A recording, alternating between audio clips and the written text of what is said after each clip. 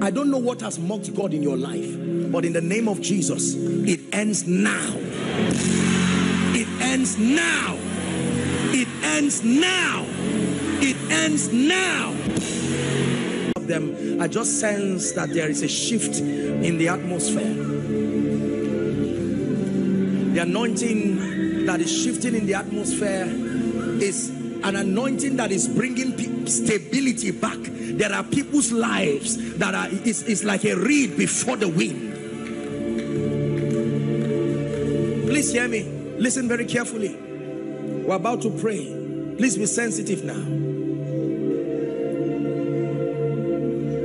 Spiritual illumination backed up by a life of intense prayer and fellowship with the secret is the key to ever increasing grace, the abundance of grace.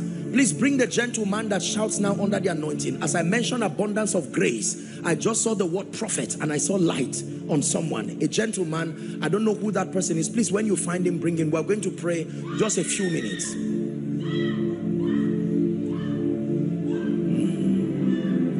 I'm under the shadow of your wings.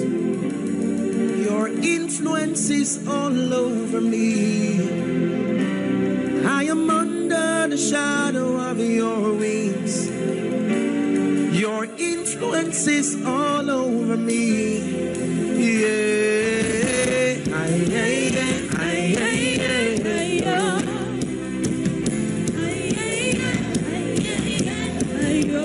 Here's the part of the song I like.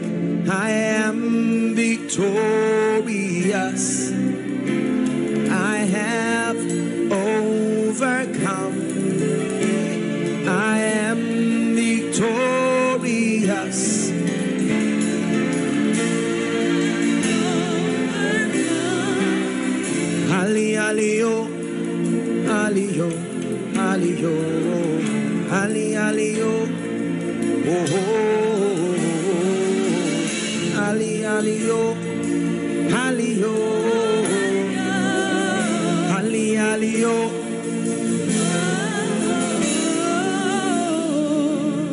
Man of God, go and find out what is the key to church growth.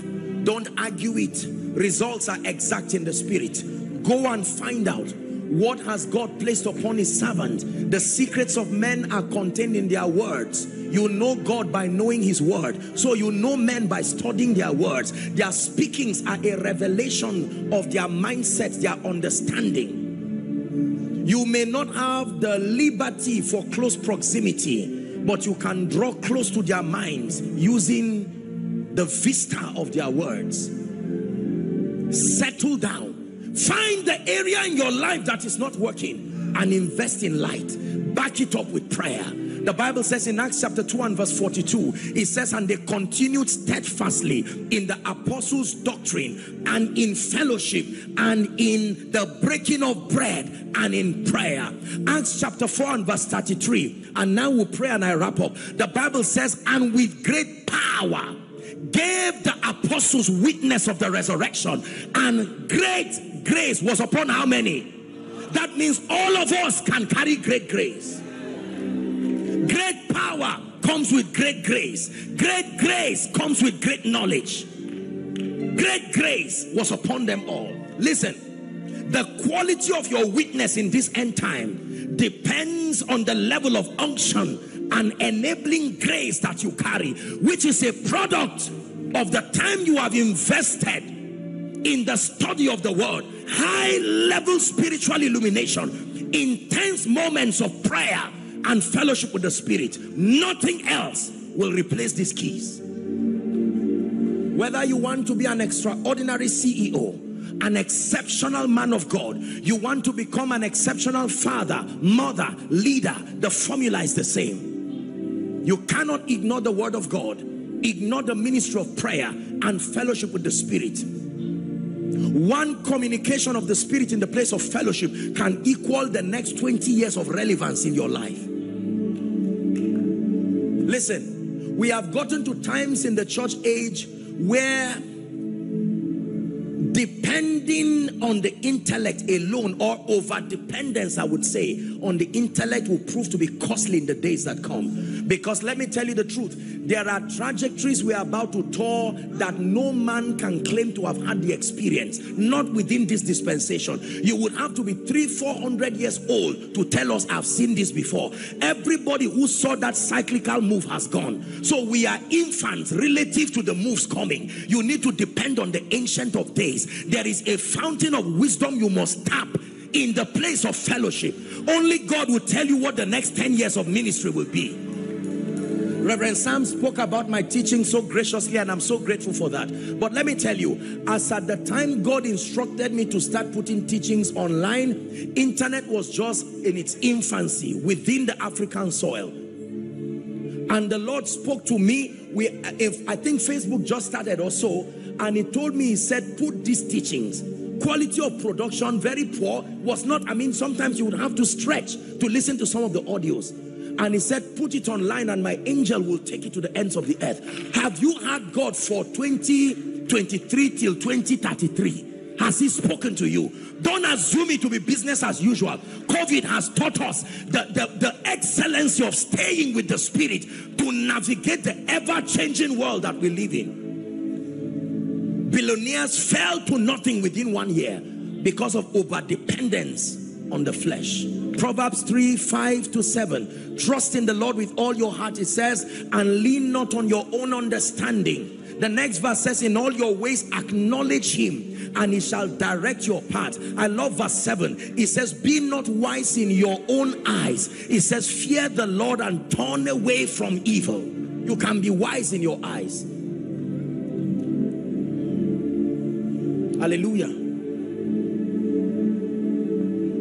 Great power gave the apostles witness of the resurrection and great grace. You are lifted by grace when you are lifted through knowledge. You are lifted by grace when you are lifted through high level illumination. Listen, there is no amount of darkness you will confront in this life that does not have a light component to drive it away. John 1 5 and the light shineth in darkness and the darkness comprehended it not. Is someone ready to pray? I plead for a few minutes, just a few minutes so that we can just cap this and, and, and take some moments to pray. Don't allow this year, not after this Gilgal experience, don't allow this year. Listen, let me tell you, regardless the prophetic word, every year remains like the previous year until you engage. Until you engage. Remember this word, exceeding precious promises, commitments, bound by conditions, bound to conditions. Cain and Abel went to offer sacrifices. One walked in keeping with the patterns. Abel, his sacrifice was accepted. Cain compromised on the pattern and his sacrifice was not accepted. He was angry and God said, why are you wrought? If you had done it, will you not be accepted? The same Lord is rich unto all. What has God done to the sister you said in your church here or another person and it looks like he's not done it to you? For others, it's a matter of time, like your pastor has said. Haven't done all to stand, you just stand and wait with patience until it comes. But for others, you are waiting in vain because you have not even done anything. Waiting for a harvest over a seed you have not sown is fraud. So you need to ask yourself, have I sown? Don't just say I'm expecting a harvest. The danger is that it's time that will reveal both, whether you have sown well or not.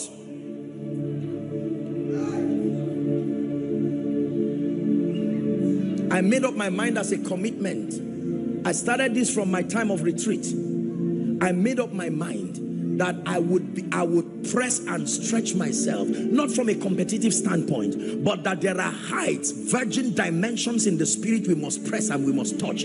As I study God's generals and these people, my goodness, this is child's play relative to the levels of the grace that these people touched. Dimensions that makes you a blessing to nations.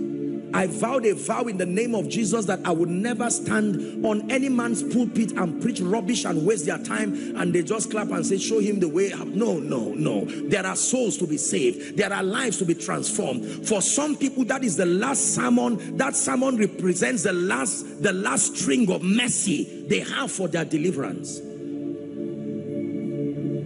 My life must change. My life must change. Cause I've touched your grace.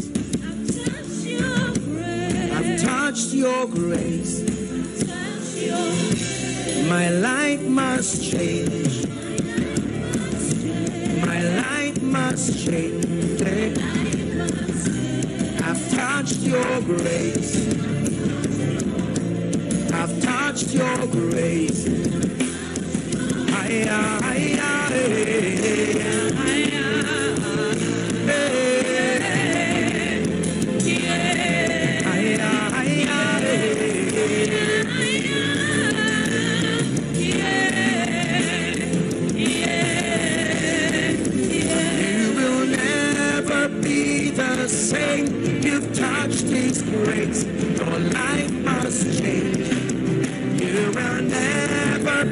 the same. You've touched.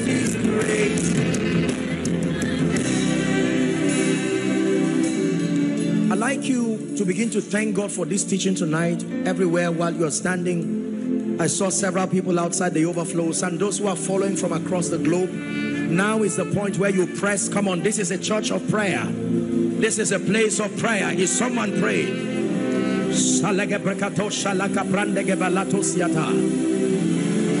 Sabreteska belege baratos kaliga brandege baratos. Sale sabaska baratos sabrandege ba.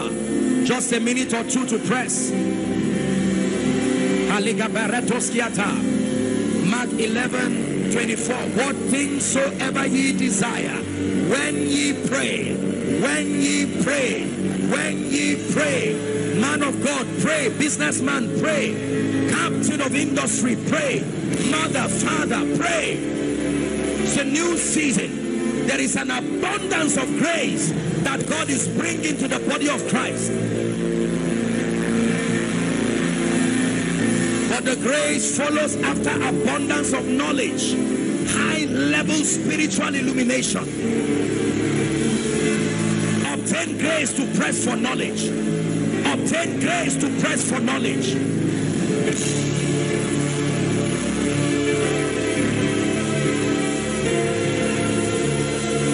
Someone is praying.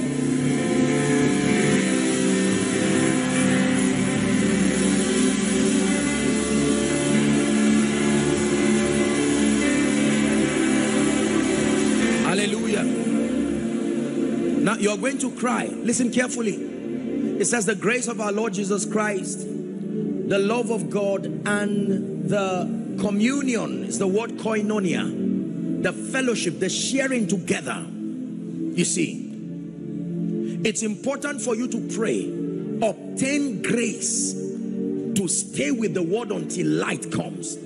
Isaiah 61 and 2 amplified says arise from the depression and the prostration that circumstances have kept you. Shine for your light is come. You don't arise and shine because you are tired of sitting. You arise and shine because your light is come not because your light is around it's been around since 2015 for someone but it has not come to you may this be the year that it comes are you ready to pray I obtain grace. Someone pray. Open up your mouth and pray. Grace to contend for superior light. The Bible says that he made many lights, but there were two great lights. One to rule the day and the other to rule the night. And then he made the stars also. Go ahead and pray. The light that empowers me to rule the day. The light that empowers me to rule the night I obtain, I obtain by diligent study. I, Daniel, understood by books. I, Daniel, understood by books. Someone pray.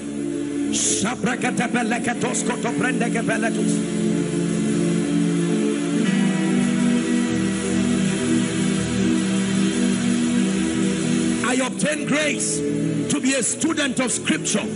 I obtain grace to be disciplined towards my press for light, definite light, marvelous light, light that illuminates every darkness in my life. I obtain grace to invest in prayer. Someone is praying. I obtain grace to invest in prayer, but we will give ourselves continually. Acts chapter 6 and verse 4.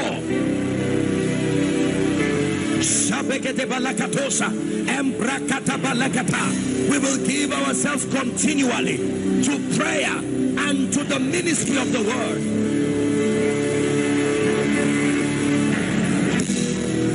The nations are calling for the mantle God has put upon your life. Man of God, the nations are calling for the grace he has put upon you. Oh Esther, oh Ruth, oh Deborah, oh Elijah, the nations are calling.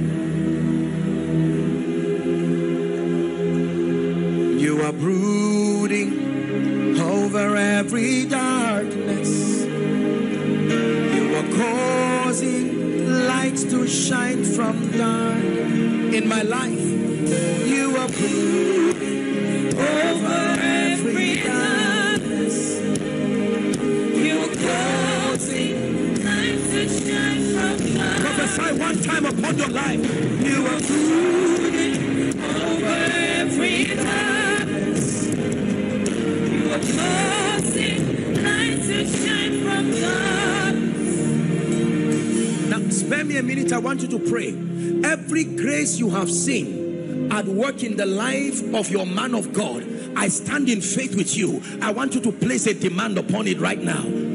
By reason of being grafted to this spiritual tribe, him and his wife, the grace, the years of sacrifice in the spirit. I'm releasing my faith with you. Pray. What have you seen work in his life? What have you seen God do in this church? Is someone praying? Don't let pride keep you in that position. What have you seen God do in his life? Father, you have lifted him. Let that grace come upon me. Are you praying? That the Lord who took him from the city of Azare in Bauchi and lifted him to become a voice across the nations. Lord, you can lift me right where I am. From where thou art, it says, lift up your eyes. Someone is placing a demand. And all of you who are connected to his prayer platform, there is a chance to pray all across the globe, placing a demand upon the grace that God has put on his life. Father, I obtain the grace for vibrancy in prayer. I obtain the grace to understand capacity to understand scripture. Grace for fellowship with the Holy Ghost. In the name of Jesus. In the name of Jesus. In the name of Jesus. In the name of Jesus. There is the abundance of grace that a man can have. I stretch my hands now. Something is going to fall right now, just in one minute. I come as one sent in the name of the Lord. I want you to receive this with all your heart. You will be surprised what will happen to you. In the name of Jesus, Father, you have sent me here not only to preach, but to impart. I stretch my hands right now. Let that fire, that grace.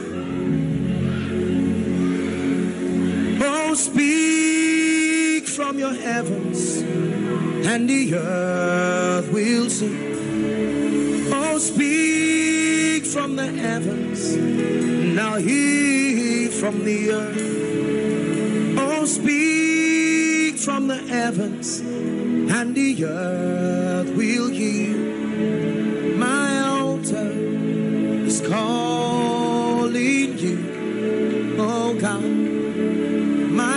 Sacrifice is calling you. Let the grace for visibility, the grace that can cause a territory, that hear ye him anointing, in the name of Jesus, I impart that grace upon you now. Receive that Receive that grace. Receive that grace. Visibility in ministry. Visibility in your family. From where you are. Rise and let the nation see Jesus from your life. In the name of Jesus Christ. Hear me. Every delay in your life whatever has tied you in the same position. There are two systems of advantage that are given by God to men to redeem time. Number one is restoration. Number two is speed. I call upon these twofold graces. May they rest upon your life now. Receive restoration. Receive speed. Receive restoration. Receive speed. Receive restoration receive speed. Hallelujah. Your pastor is a blessed man. God has shown him mercy. I want to stand in faith with him and speak. Can I tell you the truth? Believe me when I tell you, if you are not empowered economically, you will never be able to be an effective witness. The name of Jesus is very heavy it takes resources to lift it up. If you will lift it with integrity. Did you hear what I said? The name of Jesus is very heavy. It takes resources to lift it high enough for the nations to see. God who has helped this precious man and his wife I'm standing in faith. Listen, if you believe in this prayer, I'm praying for you. Many of you have been in this city, a land of plenty, but the two-leaf gates has been closed over your hands.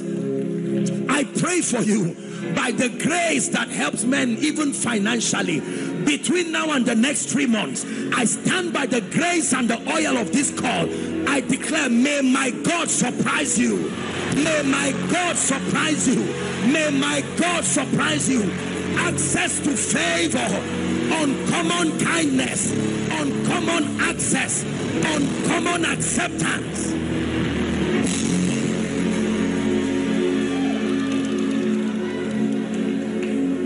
Hallelujah. Many of you, hear me.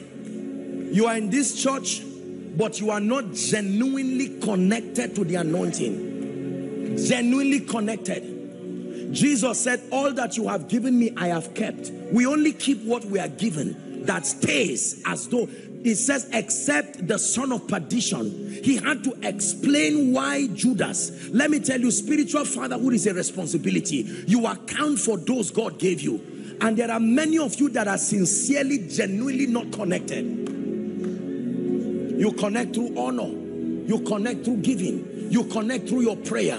You connect by supporting what it is, the dimension of God committed to the man that God has given you. Are we together? I don't know what has mocked God in your life, but in the name of Jesus, it ends now. It ends now. It ends now. It ends now. Therefore, by the privilege of God's grace, standing on all the graces that have ministered here and the graces that will be coming, and then the grace upon this precious man and his wife, in the name of Jesus Christ, I move you, move to the next level. Move to the next level spiritually. Move to the next level spiritually in the name of Jesus Christ. You are here and you are saying, Apostle, I've heard everything you have said, but I confess before Jesus and before his people, I cannot say for sure I have accessed even the saving grace. You cannot get the enabling grace until you have received the saving grace. The administration of the enabling grace is for those who are in Christ. Remember, in our teaching of grace, we said it is all spiritual blessings that are routed through the office of Christ. Now listen very carefully. Before Jesus returns, there will be a harvest Mighty evangelical voices across the globe have been prophesying this. I have seen it many times in my visions, even in recent times, that there is a prophetic harvest, a harvest like never before. Because this gospel of the kingdom must be preached as a witness to the ends of the earth, and then the end will come. So there is an abundant supply of grace and of the spirit, enabling as many who have taken God seriously to be able to frontier the cause of the kingdom across the nations. Please hear me. There are people here who are saying, Apostle, Reverend Sam, I cannot truly say that I am saved. And for others, you are saying, well, I remember making this decision, but truly, I cannot say as at now that my relationship with Jesus is intact. You may be inside, you may be outside the overflow, or you may be across the globe. I understand there are people watching from across the continents of the earth, wherever you are watching by television, perhaps even by a rebroadcast. Jesus Christ is speaking to you right now. This is my last function here. I'm going to call on all of those who are making this decision right where you are. If I plead that you just clear the way, please, for them. I'm going to count one to five and I want you with boldness to come and stand before Jesus here, please just stand, make sure they don't interrupt the man of God. Whether you are rededicating your life to Jesus or making this, I'm just looking for one sincere person who is saying there is no pretense, I came to church. You are inside, those coming from outside, if it's for salvation, please let them come. I'm counting one to five now, run to Jesus. Run to Jesus. There's nothing to be ashamed of. Run to Jesus. Please don't kneel, stand for the sake of space so that others can come. God's people, is this the best you can do as you celebrate them?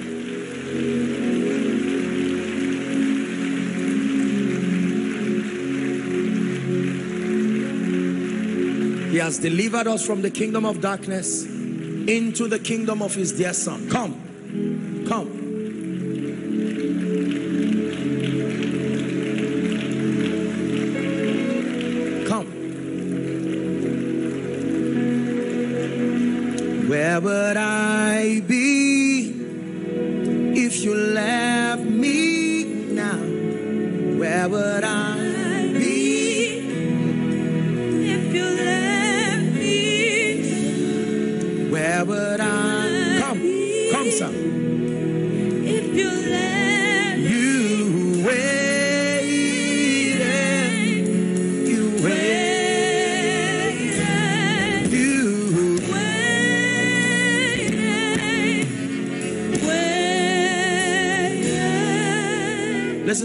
Ladies and gentlemen, thank you very much for this bold decision. And those who are connecting again by way of television, the internet, as I lead these precious ones to pray, make sure you pray. I believe an email or um, something will be projected from, from the screen, and then you would see a link or an information to just let the church know that you made Jesus Lord of your life, and then to connect you to the prayer platform for your spiritual nourishment. Hallelujah. All of you who have come, I salute you for making this most noble decision. This is the noblest decision that any man can make on this side of God's kingdom. Hallelujah. No matter how bad things are, it doesn't matter what yesterday was, he's able to give you a new beginning. May I request that you lift your right hand high above your head as a sign of surrender to Jesus. Go ahead, high above your head. Please say this after me. Let it be from the depth of your heart. Say, Lord Jesus, tonight I have heard your word. I believe that you are the Son of God. I believe that you died for me. I believe you rose again for my justification. Right now, I make Jesus my Savior, my Lord, and my King. I declare that the power of sin, Satan, hell, and the grave is broken over my life. From tonight and forever, I declare that I'm a child of God. I go forward ever and backward never. In Jesus' name. Keep your hands lifted. Father, thank you so much for this harvest. We receive them and we declare in the name of Jesus, based on the authority of scripture, we declare your sins forgiven. We call you bona fide recipients of the life of God. From tonight, we declare that you walk in righteousness, even in the abundance of grace. I commend you to the word and to the ministry of the Holy Spirit. May you be grounded and established in righteousness. And I decree and declare that you go forward ever and backward never. In Jesus' matchless name I pray. Amen. Hallelujah. Ghana, give Jesus a big shout of praise.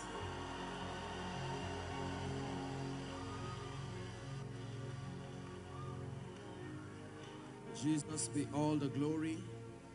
It's a joy to be here and I'm very, very touched by our hunger. So many people outside. I'm seeing several people, you know, hungry and with their hearts opened. I want you to please help me appreciate the bishop and his dear wife. Thank you very much, sir. Thank you sincerely. Appreciate this opportunity. And I must honor a very great man of God, great prophet of God, Pastor Amos Fenwa. Please let's give him a big, big God bless you. Hallelujah. I sincerely honor and appreciate all the men, women of God standing here, and then every other person in ministry. May the Lord bless you in Jesus' name. Our time is fast spent. Let's see how far God will help us tonight. Can you lift your hands to heaven and let's ask the Lord for an encounter? Go ahead and ask Him to give you a definite, destiny defining encounter. Someone praying.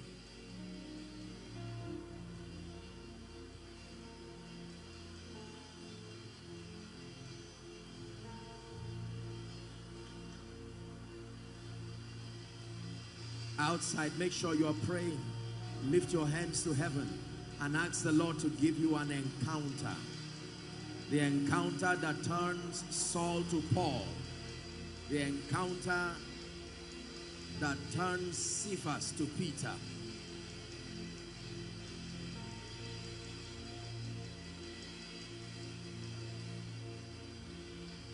For in Jesus' matchless name we have prayed. For in Jesus' matchless name we have prayed. Father, we pray that you speak to our hearts. We pray that you will grant us understanding, even by your word. Bless our hearts, impart upon our lives, open up our minds and our spirits tonight. And Lord, I pray that everyone who is here represented and the many who are following online, let none of us return back disappointed. For in Jesus' matchless name we have prayed. God bless you. Please be seated. Hallelujah.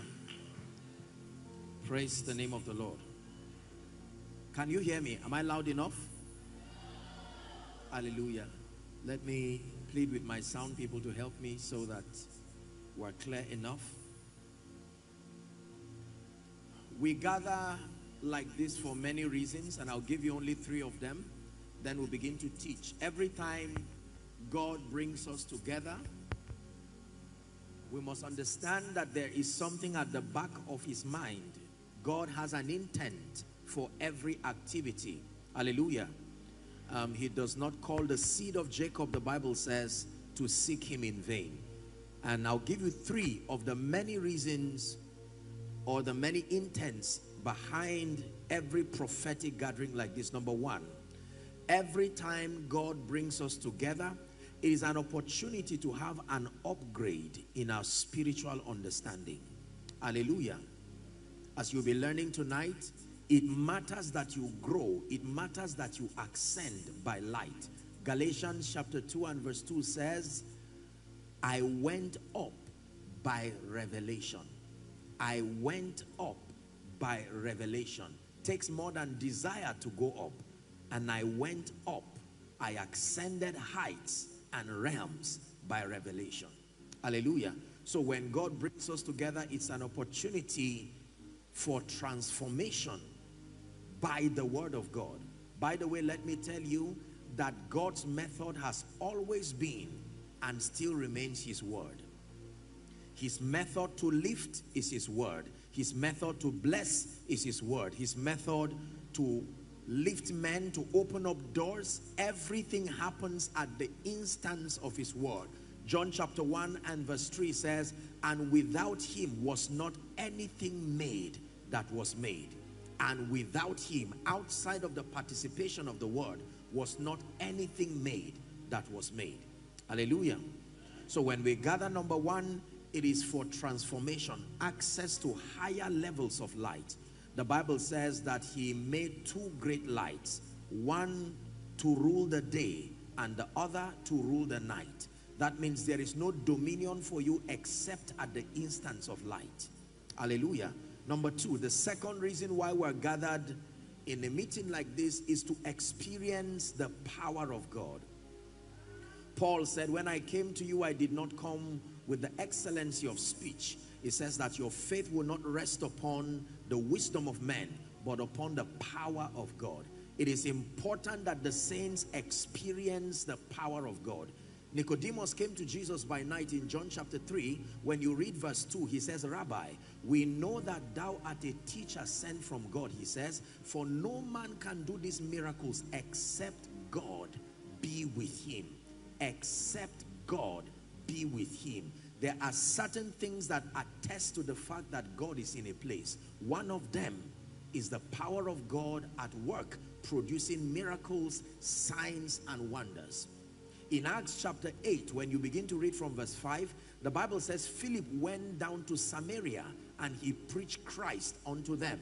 The next verse, the Bible says the people gave heed with one accord to the things that he spake, hearing and seeing the miracles which he did.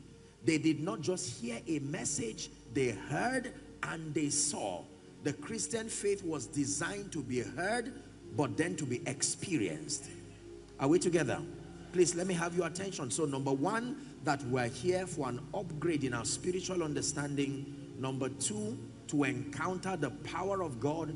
And number three, every time God gathers us together, it's an opportunity to impart upon us the various dimensions of graces required for the next level of our prophetic work.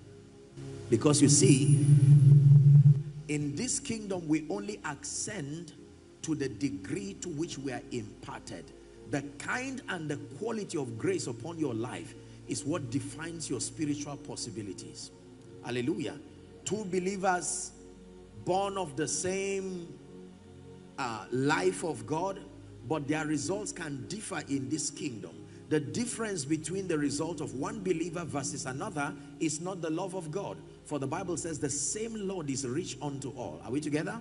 Yes but it is the kind and the level of grace that is at work in their lives. Acts chapter 10 and 38 says how God anointed Jesus of Nazareth. It's not just that he was anointed. The Bible tells us look at the extent to which God anointed Jesus of Nazareth with the Holy Ghost and with power. The Bible says he went about doing good, healing all they that were oppressed of the devil, for God was with him. In Acts chapter 2, they were filled with the Holy Ghost. In Acts chapter 4, they were filled with the Holy Ghost again. When they were threatened, he said, Now, Lord, behold their threatenings and grant unto your servants that with boldness they will declare, you know, and the signs and wonders will be wrought through the name of your Holy Son. They prayed and the room shook and they were filled with the Holy Ghost. And the Bible says they went and they preached with boldness. There are many reasons, but these are the three. I want this to be at the back of your mind so that you're not just listening to a man of God or men of God and then you share the grace and go back. I recap one last time that every time we gather, it is because there is a need for upgrade. Are we together now? Your spiritual understanding needs to be upgraded. Colossians chapter 1. Paul was praying over the church in Colossae and he made a desperate cry, a desperate plea unto God. Colossians 1 and verse 9.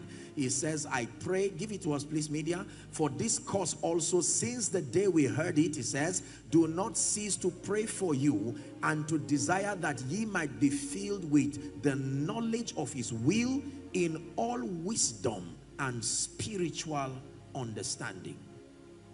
Hallelujah. The light of God is very, very important. So, an upgrade in your spiritual understanding, an opportunity to experience the miracle working power of God. Hallelujah. Because you see, if God is Father, according to scripture, the zenith of fatherhood, the real proof of fatherhood is not having children. The real proof of fatherhood is the extent to which you give. If ye being evil, he says, know how to give good gifts to your children, how much more? That means as wicked as you people are, I was speaking to them now, you still have a sense of compassion because you are fathers. How much more your heavenly father that he would give that which we are. So if it is true that God is father, there must be a platform for him to reach out to people, bringing healings, bringing deliverances. Hallelujah. And then of course, finally, to be imparted. It's very important. When God sends a word to Jacob, he intends that that word be lighted upon Israel. Nothing God gives a man should remain with that man forever. It is supposed to be a distribution point to as many who are hungry, desirous, and discerning. Has someone learned something already? So I'm teaching tonight. Let's begin our session, Empowered by Light. Empowered by Light. Empowered by Light. First Timothy chapter 2, I begin my reading from verse 1 to 4. I hope you love scripture. First Timothy 2. I exhort therefore that first of all supplications, prayers, intercessions, and giving of thanks be made for all men. We're reading to 4, verse 2. For kings and for all that are in authority, that we may lead a quiet and peaceable life in all godliness and honesty. Verse 3 it says, For this is good and acceptable in the sight of God our Savior. Let's read verse 4 together. Ready? One to read. Who will have all men to be saved uh -huh, and to come unto the knowledge of the truth. Apostle Paul is teaching his son in the gospel, Timothy, and he's expressing God's ultimate desire that this God desires that all men be saved and then not just to be saved, but to come unto the knowledge of the truth. Hallelujah. Are we together now? Yes. In Genesis chapter 1 and verse 5, the Bible begins to talk to us about light. The first mention of light in scripture is Genesis 1 and verse 3. And Elohim said, let there be light or light be. And the Bible says there was light. Now verse 5, the Bible says, and God called the light day. Very profound scripture. He gave the light a name and he called it day. And the darkness he called night. That means in the mind of God and in the economy of the spirit, day is not just when it is 6 a.m. in the morning till 6 p.m. Day only happens when you have light. Listen, listen, listen, listen, listen, listen, listen. Don't be too quick to just shout for nothing. Pay attention and understand. Listen, are we together? I know you are celebrating the word, but do it with understanding. The Bible says he called the light day. That means I can be chronologically speaking standing at a time that is 12 noon in the afternoon but spiritually I am still in the night because in the realm of the spirit it is not the chronological passage of time that alternates day or night as we know and have it in geography are we together this in many parts of Africa now is night so once it's 6 p.m 7 p.m thereabout the sun departs and you have darkness that is our concept of day and night so day for us starts say from 6 a.m in the morning down till about 6 p.m. But God is correcting that understanding. Geographically, you are right. But from the standpoint of spiritual intelligence, that you are only in your day when you access light. That means a man can be awake 10 p.m. and in the spirit it is day because you are standing from the abundance of light. Are we together? That God called the light day and the darkness he called night. John chapter 1 and verse 5. John 1 5. Uh, John the Apostle, this is his own version of the gospel, his synoptic account. And he says in verse 5, and the light shineth in darkness, and the darkness comprehended it not. The light shineth in darkness, and the darkness comprehended it not. That means everybody who sustains light automatically has dominion over darkness. Hallelujah. I would always want to give this example. Imagine with me, let me walk with your mind for a minute. Imagine a room that has been dark for 10 years. No bulb, no one has switched the light. 10 years. You have that in your mind? Imagine another room that has been dark for one year. No one has tried to put on the light. Imagine a room that has been dark for one week. Imagine the fourth room that has been dark for a whole day. And then imagine the fifth and final room that has been dark for a few hours. Question. The moment you put on the light for all the rooms, which of the rooms will be lightened first? That means the longevity of darkness does not count in the presence of light. The room that has been dark for years, months, weeks, days, hours, perhaps minutes, will respond the same way at the instance of genuine light.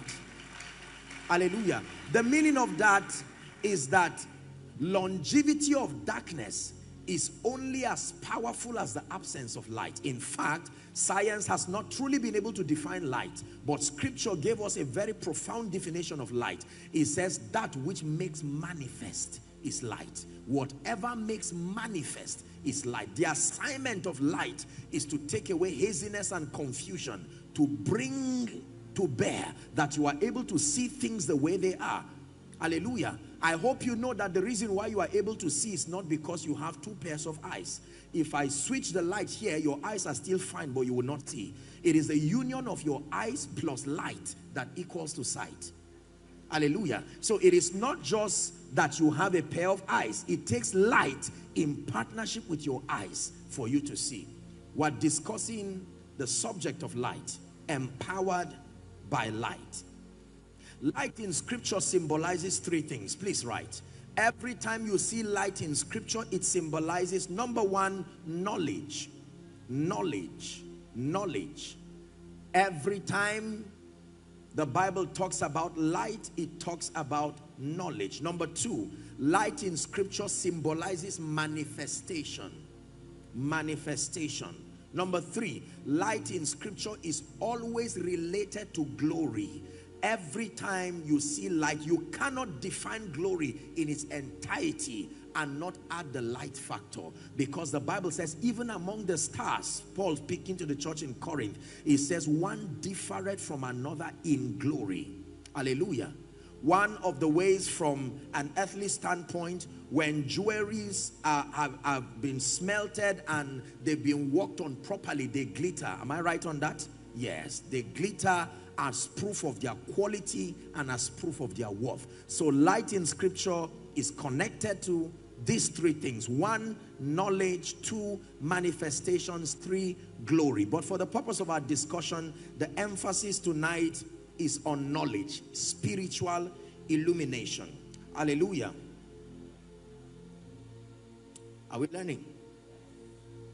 Now, the way God designed the kingdom, please look up. The way God designed the kingdom is that after you encounter Christ, the moment you encounter Jesus Christ in what you know to be the new birth experience, and I hope you know that the believer's journey begins, the necessary and sufficient condition for you to be a recipient of God's life is that you believe in the substitutionary sacrifice of Jesus.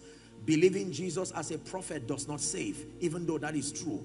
Believing Jesus as God does not save, even though that is true. There is an exact information about Jesus you must believe to be saved. Demons believe Jesus, but they are not saved. Are we together? So just believing Jesus does not save. There is an exact information. You find that in Romans chapter 10 from verse 9 and 10. That if thou shalt confess with your heart the Lord Jesus, your mouth the Lord Jesus, and believe in your heart that God raised him from the dead, thou shalt be saved. Verse 10 now says, For with the heart man believeth unto righteousness, and with the mouth confession is made unto salvation. So we only call someone a Christian, a child of God, if you have encountered this initial experience. It's important I don't just brush over this as we seek to discuss the subject of knowledge because spiritual illumination in the kingdom is for those who are in the kingdom in the first place. So Nicodemus comes to Jesus and says, Rabbi, we know that thou art a man sent, a teacher come from God, for no man can do these things except God be with him. Then Jesus replies in verse 3 and says, Verily, verily, I say unto you, except a man be born again, he cannot see the kingdom. Nicodemus is amazed. How can a man be born the second time, will he enter into his mother's womb? And then verse 5, he says, except a man be born of water and of the spirit, he cannot enter the kingdom of God. Hallelujah. Then when we get to verse 16 of the same John, he says, for God so loved the world that he gave his then only begotten son, that whosoever, that blessing is for whosoever, believeth on him should not perish, but have everlasting life. And then verse 17 says, For God did not send his son into the world to condemn the world, but that the world through him might be saved. So it is very, very clear from scripture that the only way to be saved, there are not two, three, four, many methods. There is only one way. Jesus said very clearly, I am the way, not we are. I am the way. No pastor is the way. No church is the way. We only help to guide men to the way. I am the way. I am the truth, reality, and then I am life. Do we have that down? See, this is a prophetic conference and it's important that our spiritual understanding be stabilized by methodically helping us understand. As simple as this thing I've said is, you will be surprised how many believers, respectfully speaking, even preachers, cannot articulate the elementary rudiments of the faith. If you cannot, listen, if you cannot articulate this, you are not growing properly. Are we together now? Yeah. When you send a child to nursery school, they don't begin to teach the child physics, although one day he will learn physics. Imagine how wicked you will perceive a teacher to be, finding him teaching students in a nursery school further maths and physics and chemistry and helping them to, you know, titrate and do all kinds of things. Would you keep your child in that class? But you intend the little boy can say i will be an engineer and i'll be a doctor. You agree with him but you verify that he grows methodically. So he starts by learning the rudiments. A is for apple you say. B is for ball. And when he recites it to you you are listen the goal is not to keep him limited like that but that is the bedrock. That is the building block so there are more, many believers who cannot defend the faith with understanding because our knowledge is random. We stumbled across anything spiritual and we just added it. And it, nobody, an architect builds a house with intelligence. You don't start your building with a zinc or a roof, although a roof is needed. Are we together? So the Bible says line upon line precept upon precept. Here a little there a little. If you do not understand the rudiments of the new birth of salvation it does not matter how deep you are. You are only being thrown up to come down because Christ is that foundation. Are we together? So when the believer by acknowledging the lordship of Christ now comes into the kingdom listen carefully. The Bible now tells us that the Holy Spirit one of the ministries of the Holy Spirit is to now guide you. Even though he plays that role at the initial point of salvation, he now begins to guide you. Jesus said, I have many things to tell you, but ye cannot bear them now. John 16. It says, how be it, when he, the spirit of truth is come, he will guide you into all truth. Is that in your Bible? He will guide you into all truth. Hallelujah. So he now, the Holy Spirit in partnership with the word and in partnership with the teaching priest. This is why you must thank God that you have a man of God who allows you to grow methodically and holistically. The unbecoming of many believers is that sadly for many of them did not have the opportunity to be properly mentored under the ministry of a teaching priest. Jeremiah 3:15, and I will give you pastors or shepherds according to my heart, and they shall feed you with knowledge and understanding they will feed you. Light is a meal. You can feed someone with it. And that person, the same way you feed someone with proteins, carbohydrates, and you call it balanced diet, the believer needs to be fed with light. And that is the assignment of the teaching priest. So the teaching priest, in partnership with scripture, and that from a child, thou hast known the holy scripture. Are we together? Which is able to make you wise unto salvation. And now, brethren, Acts chapter 20, 32, I commend you to God and to the word of his grace, which is able to build you up and to give you an inheritance among them that are sanctified. So when you get saved, the next step is the Holy Spirit in partnership with scripture, the written word, in partnership with the teaching priest, takes it over from there. And now you begin to learn the basic truths of the kingdom. And there are seven founda six foundational doctrines that if you are not taught, your life is at a risk. You find that in Hebrews chapter 6. The Bible calls them the foundational doctrines. There are six of them. We're not dealing with them. This is just an introduction so that we will have and understanding. Listen, you don't just stand and tell demons go and they go. They verify your growth. They verify what you are standing upon. Is the reason why many believers mock themselves. We desire power, we desire anointing, we fall down and stand up, but there is no stamina, no strength, no longevity of impact. There is not much that can be done in and through our lives. The reason is because there is bankruptcy of methodical growth. Are we together? Please make sure you listen. Thank you.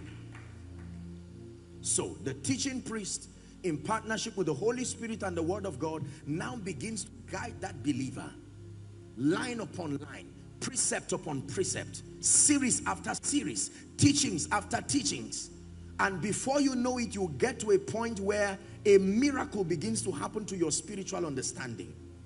Your understanding is altered you now begin to understand the ways of the kingdom and with understanding comes transformation. That is the basis for bible faith.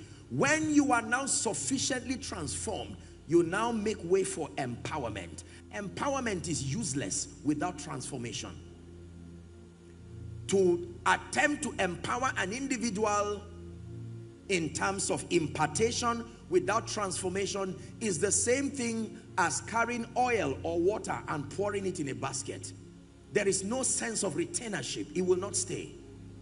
Are we together? Look at the ratio. Look at how Jesus built the early disciples who would later become apostles. The ratio of teaching to impartation was three and a half years to one day. They desired power and he told them, sit down and learn. Sit down. Master, let's do this. Why couldn't we sit down? When he was done, they were itching to go. He said, no, no, no, no. Now you have knowledge, but knowledge alone is not important. It's not the, the ultimate. Tarry ye. Now you have knowledge. I've spent three and a half years teaching you. When the Holy Ghost came, nothing could stop them. Look at Peter's sermon. Peter did not just say, I was anointed. No, that's a good student. When they all gathered, he said, no, no, no, no, no. We're not drunk as you suppose. This is only the early hour of the morning. But this is that. And he began his discourse from Joel to David. At the end of it, he said, let it be known to you, O Israel, that this same Jesus whom you have crucified has now been exalted as Lord and Christ. As a result, the Bible says they were caught to the heart. And they said, men and brethren, what should we do? He said, repent for the remission of your sins, and then you will receive this promise, for the promise is unto you. These were anointed men, but they were doctrinally sound. The early church, the pattern for the building of the early church is found in Acts chapter 2 and verse 42. The Bible says, and they continued steadfastly in the apostles' doctrine and in fellowship and in breaking of bread and in prayers. Acts chapter 6 and verse 4. When there was trouble as far as serving tables, they wanted the apostles to leave the apostolic duty and come and manage welfare issues. They said, no, get men among yourselves, seven of them, full of wisdom and the Holy Ghost. But we will give ourselves continually to prayer and to the ministry of the word. I sense in my spirit that one of the things that God is doing is helping someone to see the value of light before anointing. We are a generation that really loves anointing and that is important. You will receive the anointing. But the beauty of empowerment, you see, the oil will always assume the shape of the vessel carrying it. That was the problem with the woman, the wife of the sons of the prophet. Her vessel was small. It was not the oil. The prophet said, no, go and borrow vessels, not a few.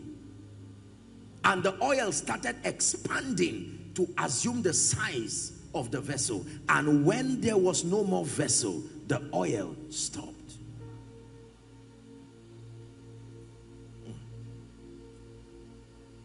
Hallelujah.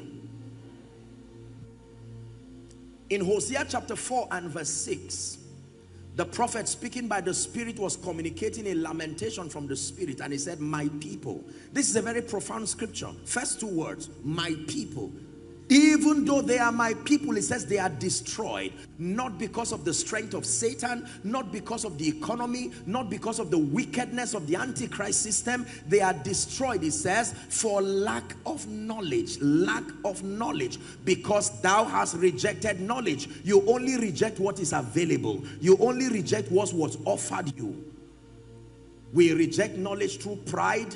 We reject knowledge through an arrival mentality. Are we together? No wonder the Bible says we should receive with meekness the engrafted word. Because thou hast rejected knowledge, I will also reject thee that thou be no priest unto me. The Bible says in Psalm 82, when you read from verse 5 to 7, it says, they know not, neither will they understand. They walk on in darkness, and all the foundations of the earth are out of course verse 6 and Jesus quoted this same scripture in the New Testament. I have said ye are gods and all of you are children of the most high. Verse 7 says but you shall die like mere men and fall like one of these princes. Listen to me ladies and gentlemen. In the kingdom our possibilities are defined first by the extent of light the spiritual illumination that we have submitted ourselves to. From age 12 Jesus was not looking for impartation. He was in search of light. He was found at the temple discussing with the doctors of the law. Remember, this is the word incarnate. John 1, 1. In the beginning was the word, and the word was with God, and the word was God. But when he was incarnated and he became flesh, he went to learn. Where do you think he learned it is written from? Matthew chapter 4. When Satan came to him, he did not say, I am God. He did not say, don't play with me. He didn't speak all kinds of cultural sentiments. He said, it is written. And Satan said, when it has to do with this, me to have studied, it is written. And all their discussions were, it is written. It is dangerous to not know what is written because what is written is greater than what you saw. What is written is greater than what you heard. Listen, it is written can change what you saw it is written can change what you heard. But thou, O oh Lord, art a shield for me. My glory, you lift my head. But thou, O oh Lord, art a shield for me. My glory, the lifter up of my head. Listen, any believer that is not full of light is like a man who even though an adult is moving with no eyes. Would you want to follow such a person? Would you trust such a person? And yet there are many sincere believers respectfully speaking some of them preachers. The blind leading the blind Longevity in the house of God does not translate automatically to dominion. Dominion is the resultant effect of your accessing light. And when it has to do with the business of light, there is false light. The Bible says that was the true light that lighted every man. That means there are false lights. They carry a semblance of power and liberty puffed up with knowledge, rhema, but in the presence of real life situation, they do not sustain the potency that light brings. I'm challenging you first and foremost to know that the missing link, the journey between this version of you, where you are spiritually, and the prophetic version you have seen in your dreams and your visions is first and foremost light. Isaiah chapter 60 and verse 1 says, Arise, shine, for thy light is come. Profound scripture. Arise from the depression and the prostration that circumstances have kept you. Amplified says, rise to a new light. You don't arise just because you are, you've been there for a long time. No. The man who in John 5 was at Bethesda, he was there for 38 years until the light of the world came to him. You would think longevity of his stay would automatically translate to his miracle. But he remained there in pain and shame, close to breakthrough, but nothing happened until Jesus showed up.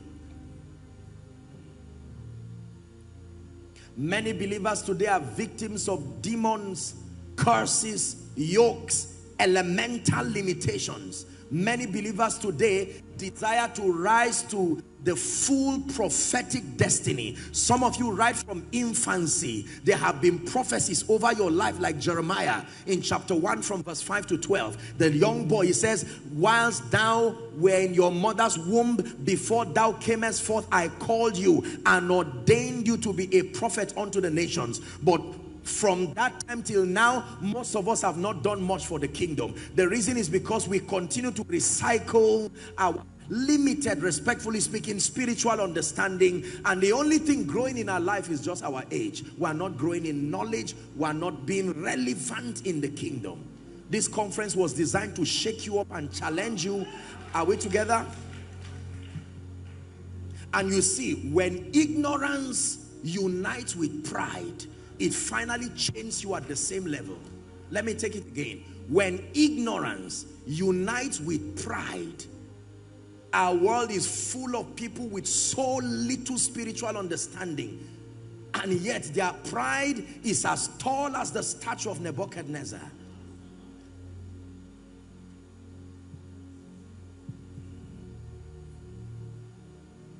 We must be ready to learn. We must be ready to sit down do not be embarrassed when it has to do with being in the school of the spirit. Don't say I've been in ministry for 10 years. Prove it by your result. The dexterity, the outworkings of the spirit, the construct of your spiritual understanding. Perhaps you're a pastor here and now as you are listening to me, the Holy Ghost through my words is telling you this is what you need to teach your congregation. How would you raise a weak people teaching them like this? How would you guide if you teach people the rudiments of salvation and then you begin to ascend from faith to prayer to fasting, then you now get to other matters? Oh, come on. You will raise men in the similitude of David, mighty men. I submit to you that the reason why we largely have a weak church and a weak congregation is because we have a weak pulpit.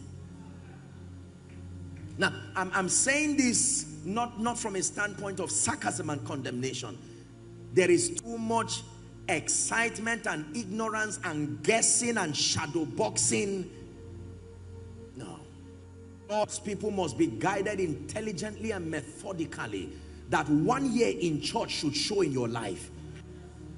How many of you will keep paying the school fees of a child who after one year he returns back cannot spell, cannot speak, does not understand, and then they give you a PTA letter that the school fees has been doubled because of the economy. Wouldn't you want to see the principal? You want to have a discussion with the man. Am I right on that?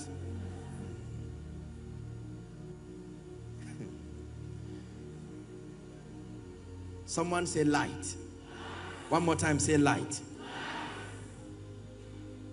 So the Bible says that my people are destroyed for the lack of knowledge.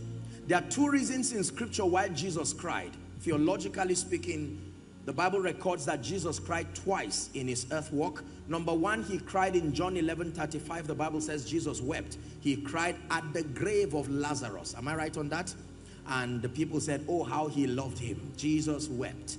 The second instance where he cried, I think that was Luke, Luke chapter 19, 41, 42. The Bible says he looked over Jerusalem and he saw the ignorance of the people and he cried, Jerusalem, Jerusalem, if only you had known in this thy day the things that pertain unto your peace, but now they are hid from you. He was crying because he saw the ignorance of the people. Ignorance made the son of the living God cry. Hallelujah.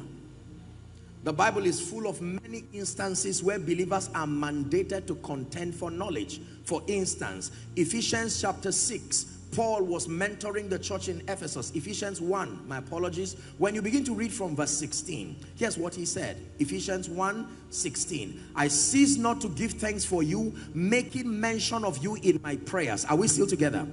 Verse 17 that the God of our Lord Jesus Christ, the Father of glory, may give unto you the spirit of wisdom and revelation in the knowledge of him. 18.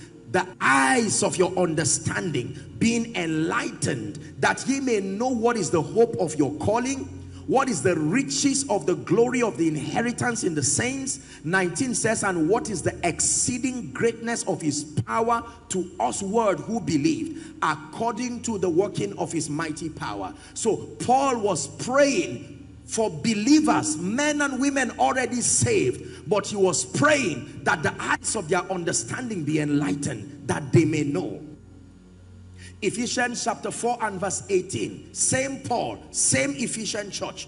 Having their understanding darkened, he says, being alienated from the life of God through the ignorance that is in them because of the blindness of their heart. And now there are people in the body of Christ who are not totally in ignorance. In fact, I really, really believe that any believer that is serious and has been under a teaching priest should have had some level of knowledge. The challenge is that the light from your phone cannot light this entire auditorium, although it is light. The darkness in the world, the darkness that wants to bedevil your destiny does not require a little light. You need high level illumination. First Corinthians 8, 2. So there are people who have light we know a few things here and there.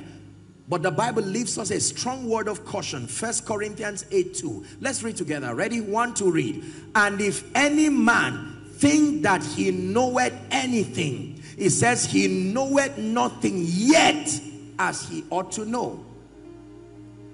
You may have listened to my teachings where I give examples that in our grading system, I believe it's same with Ghana. We have F being the least grade. Am I right? and A being the highest grade. Now, F does not mean zero. F means from zero to 39. So anything you score within that range is still considered F. So in a class of 10 students where the highest scores 38%, when you say who is the best, they will bring the one with 38%. But from a grade system of F to A, who passed?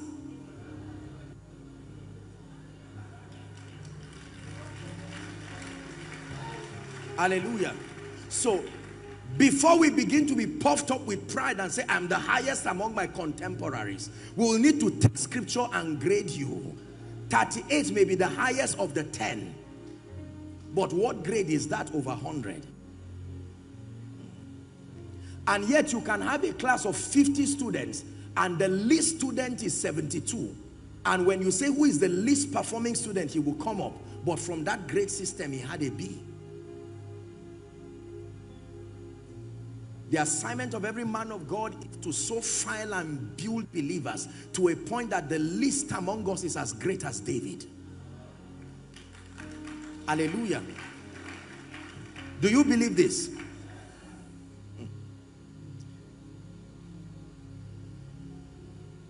In Psalm 45 and verse 4, Psalm 45 and verse 4, the Bible says, ride in thy majesty, ride prosperously because of truth. your excelling, your dominion, your joy. Prosperity here has nothing to do with money. It just means to excel, to surpass ordinary standards, to ride prosperously like the king that you are because of truth. Hallelujah. Your health, your longevity, your finances, your growth in life and ministry, your excelling, your dominion over the cosmos are all light dependent. That means if you ignore light, you have made a bad bargain with your destiny. If you ignore light as a preacher, you ignore light as a businessman, are we together? The Bible says the same came to his own, talking about the light, and some of them received him not. But to as many as received him, that means there are people who will reject light. And God will respect your choice, except that you will peg and limit yourself in life and destiny. Very quickly for the purpose of our discussion tonight, light I taught you translates to knowledge. So every time I talk about light within the context of this discussion, let your mind think knowledge. There are five dimensions of knowledge that every believer must know. In fact, there are six. I'll start wherever we stop, just a few minutes, and then we'll end for tonight. Commit yourself, by the way, let me encourage you to not miss the remaining sessions no matter what sacrifice, what price you will pay under God and as much as is within your power, please pay that price so that you will capture everything that God has in store for you. If we're together, shout aloud, amen. amen. So there are five dimensions of knowledge. Not every knowledge is useful for the believer, but there is an exact body of truth that is important if the believer must rise. Are you ready for it? Five dimensions of knowledge that you must contend for. Number one, the first dimension of light you must crave for, you must contend for, is that you must know God and his son, Jesus Christ. That is the first dimension of light you must seek to know. You must know God and you must know his son, Jesus Christ. John 17, 3. This is life eternal, that they may know thee. John 17, 3. This is life eternal, that they may know thee, the only true God, and Jesus whom thou hast sent. Daniel 11, 32, the B part. But the people that do know their God, is that in your Bible? They shall be strong, capacity, and they shall do exploits. The people that do know their God the people that do know their God. The first dimension of light knowledge you must pursue is the knowledge of God and to know Jesus Christ. Ladies and gentlemen, your confidence in this kingdom is based on your encounter with God. If you have not met the God of the Bible in the burning bush, you cannot stand before Pharaoh. Pharaoh will ask you who sent you. And there are many of us who have been asked by the pharaohs of life, who sent you? You want to be the one to rise up and end tears and end curses in your family? It's not just because you are a church goer. These principalities and elemental spirits have been there before you were born. They will ask you who sent you. Moses said, do not send me until you reveal yourself to me. And God said, I am that I am. When he stood before Pharaoh, he was not threatened by the pride of Pharaoh, nor the dexterity, the extent of the wizardry of Egypt. Many, many believers talk about God, but they do not know God. Reminds me of an experience in the early church where a few people came and they built a monument to an unknown God. They were worshiping a God they did not know. They were giving to a God they did not know. They were singing to a God that they did not know. It is time for you and I, ladies and gentlemen, to press for a higher and a deeper knowledge of God and a deeper knowledge of Jesus Christ.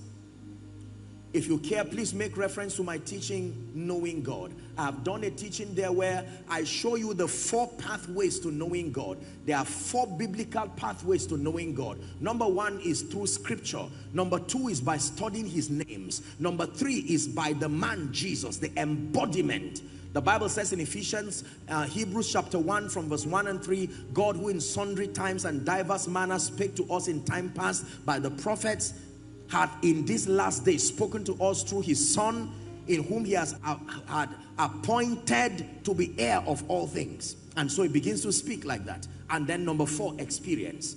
So we can know God. The point is, the first dimension of knowledge you must press for is the knowledge of God. Please write it down.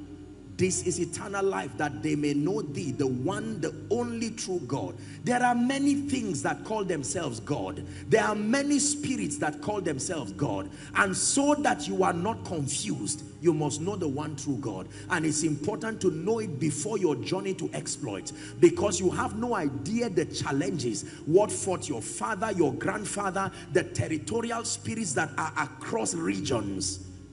It takes the knowledge of God to stand tall and say like the apostle would say, I know whom I have believed and I am persuaded that he is able to keep that which is committed unto him against that day. Are we still together? Number two, very quickly. The second dimension of light, knowledge.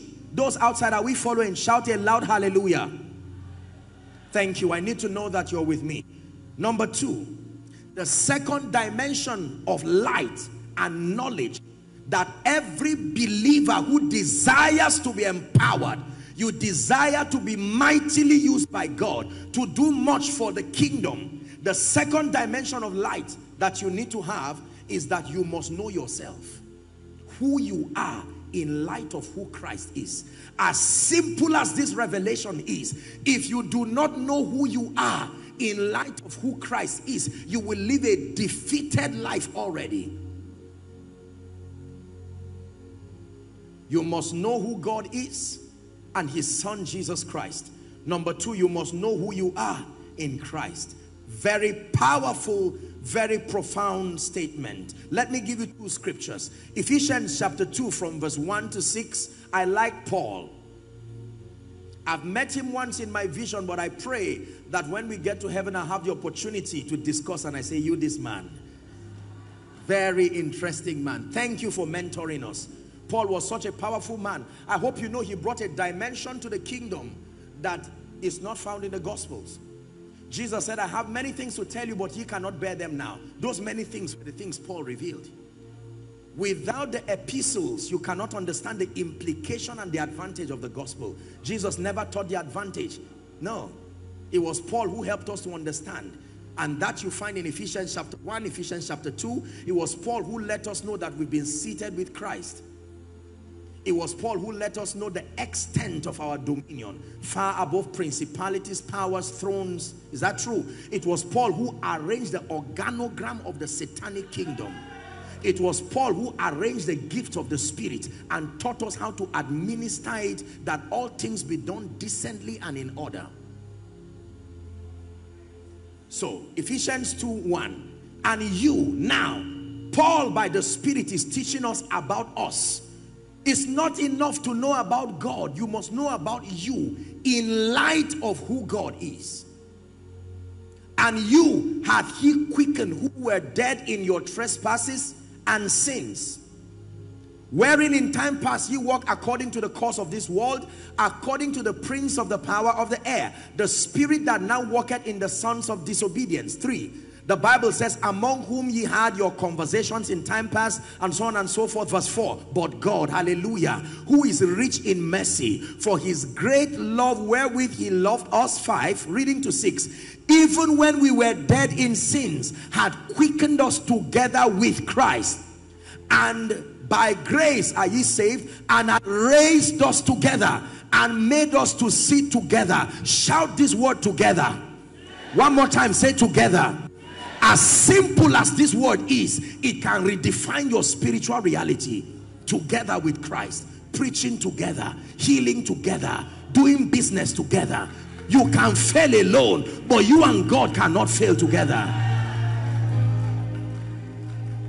Listen, without God, I'm a failure already. You can fail alone, but not when He walks together with you. Are we together? Had raised us up. Now, you can know yourself in the flesh. I am from Takoradi or I am from somewhere in Ghana. That is just, that is just, that is, that is anthropology, you see. But I'm talking about knowing yourself by the Spirit that I have been called out of every tribe and every tongue and every nation, that I may be weak in the flesh, but I've been exalted, elevated to a position where I am seated with Christ. That is a reality that does not depend on designers. That is a reality that does not depend on, on the physical things, all the paraphernalia that we have around that try to make us feel valuable, as important as it is. It's a living spiritual fact that when you are in Christ, the Bible says, number one, that a real translation happened from the kingdom of darkness to the kingdom of his dear son. And it is up to you to know it and to believe. You need to know who you are in light of who Christ is. This is not just Pentecostal gibberish. Your confidence does not just depend on the knowledge of God, but the knowledge of yourself. Hallelujah. When you know who you are in Christ, there are things that will not scare you again. No. My friend, please stand. If I call you a baby, will you cry? Will you pray about it? What will you do?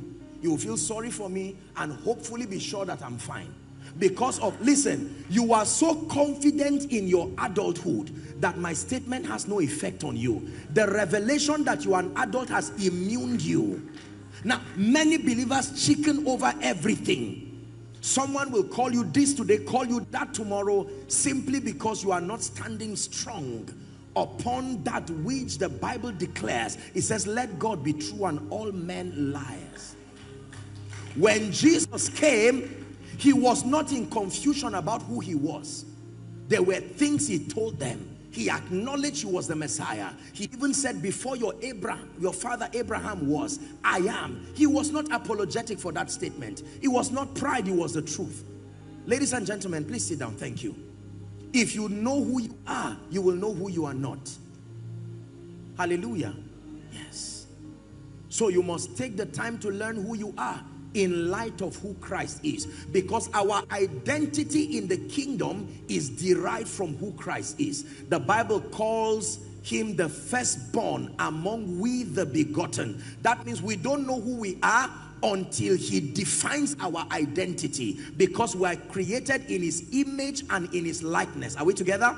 According to ephesians chapter 2 and verse 10 the bible says for we are his workmanship is that in your bible? Recreated in christ jesus unto good works. So we were redesigned regened in christ.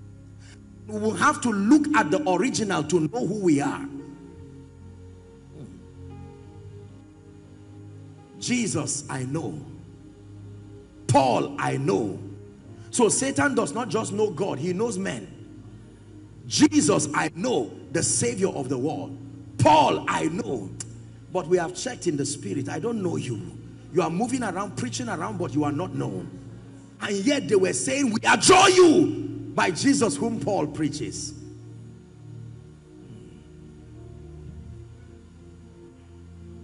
Blessed wonderfully and fearfully made, the beloved of God, the head and not the tail. This is what he calls me. You refuse to allow Satan call you any other thing.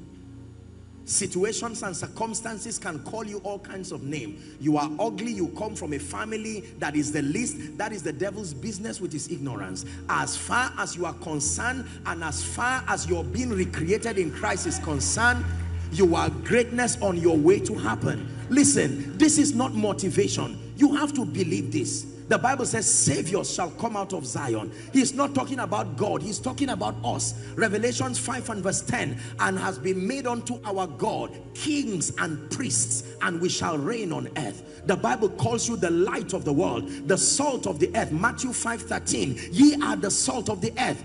Matthew um 5:14 if the salt has you are the light of the world verse 15 it says neither do men light a candle and put it under a bushel. Verse 16 let your light so shine. He calls you the light. He calls you ambassadors. He calls you a blessing. Genesis 12 2 and 3 in these shall all the families of the earth be blessed. You can't meet me and go back the same. It's not pride. It's the truth the Bible says I am a blessing because it was spoken to Abraham and his seed. Galatians 3:29 and if ye be Christ then are ye Abraham's seed and heirs according to the promise. Now listen you don't believe because you have become you believe to become. Did you hear what I said? Waiting for a physical manifestation before you agree is not how the economy of the kingdom works he said let the weak say you say I am strong to be strong. You don't wait till you are strong, then you verify. Mm -mm. A lie is not just an untrue statement. A lie is anything God did not say.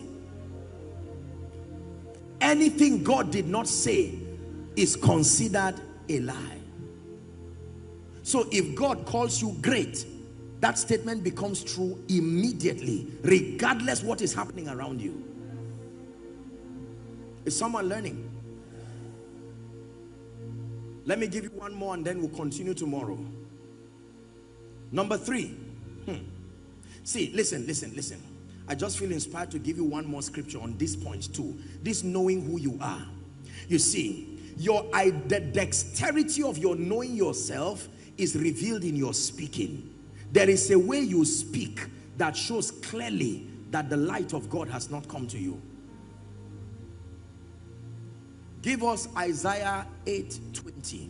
Don't forget this scripture for the rest of your life. This just came to my spirit. Let's read together. Isaiah 8:20. Ready? One to read. To the law and to the testimony, if they speak not according to this word, it is because there is no light in them. There is a way men who carry light speak. Because they understand that where the word of a king is, there is power.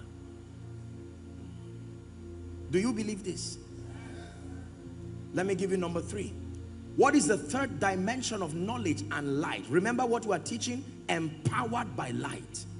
Someone will leave this place tonight changed like you will there is a healthy confidence. Something will begin to happen to you as a man of God. You will now begin to see the richness the depth of the things of God.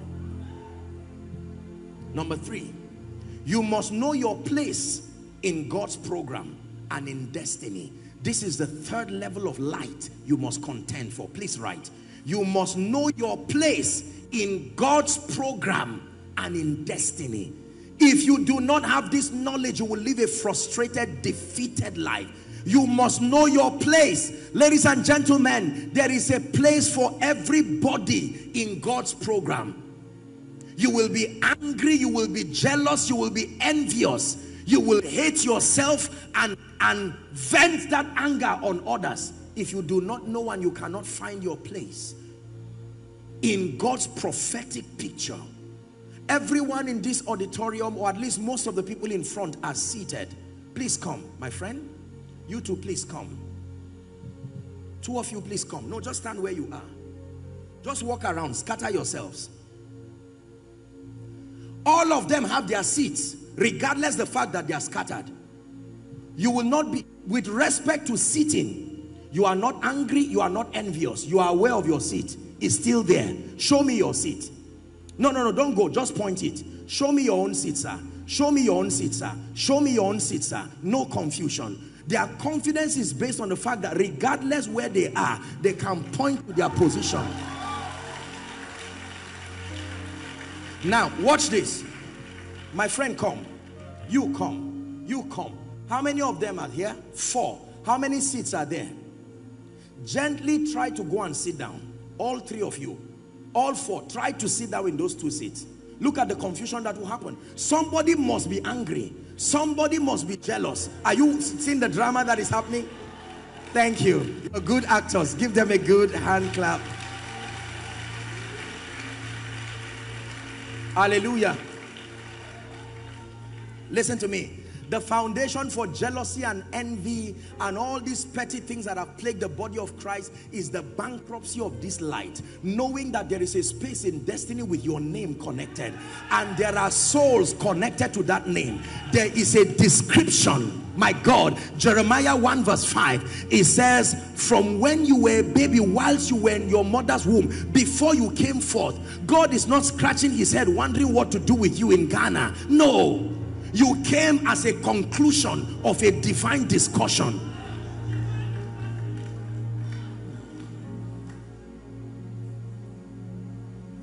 Hallelujah. The third dimension of light. We are all gathered today celebrating God in Takoradi because a man found his place. Are we together?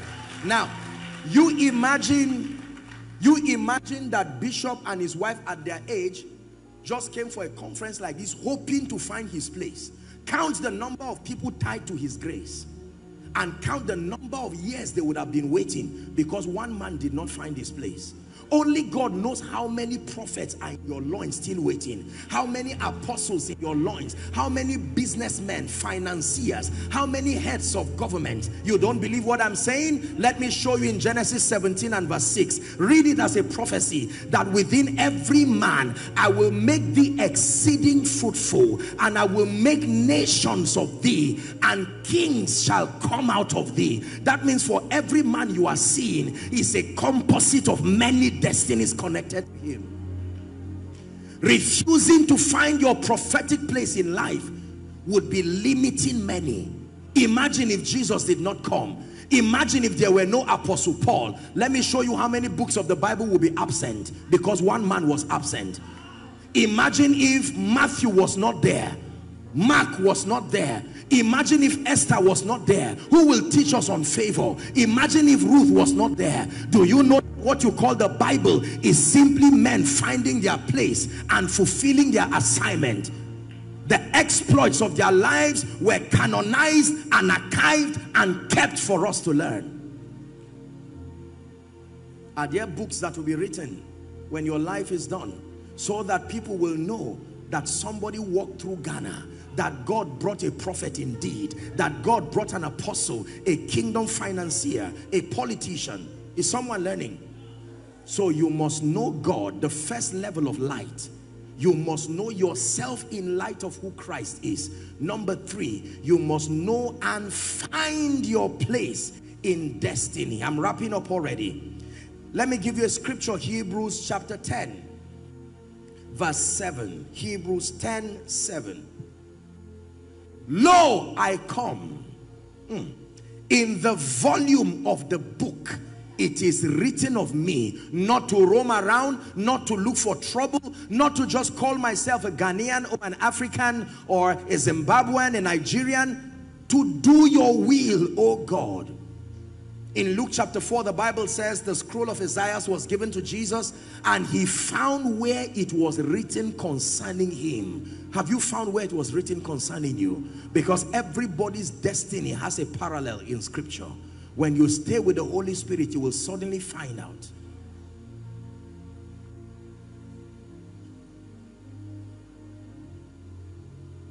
I feel tempted to add one more.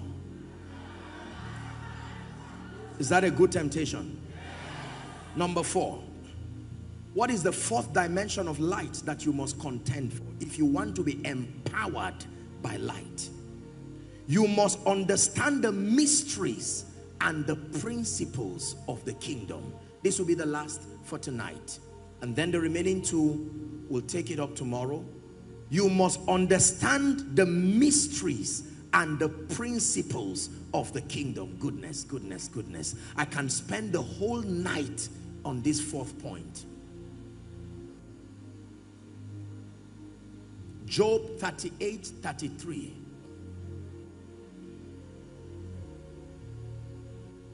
Knowest thou the ordinances of heaven, and canst thou set the dominion thereof in the earth? He was speaking to Job. Do you know how heaven regulates itself? And can you reproduce that dominion upon the earth? Listen to me. Dominion is not an impartation. You may have heard me say, it is the resultant effect of your comprehending the mysteries of the kingdom.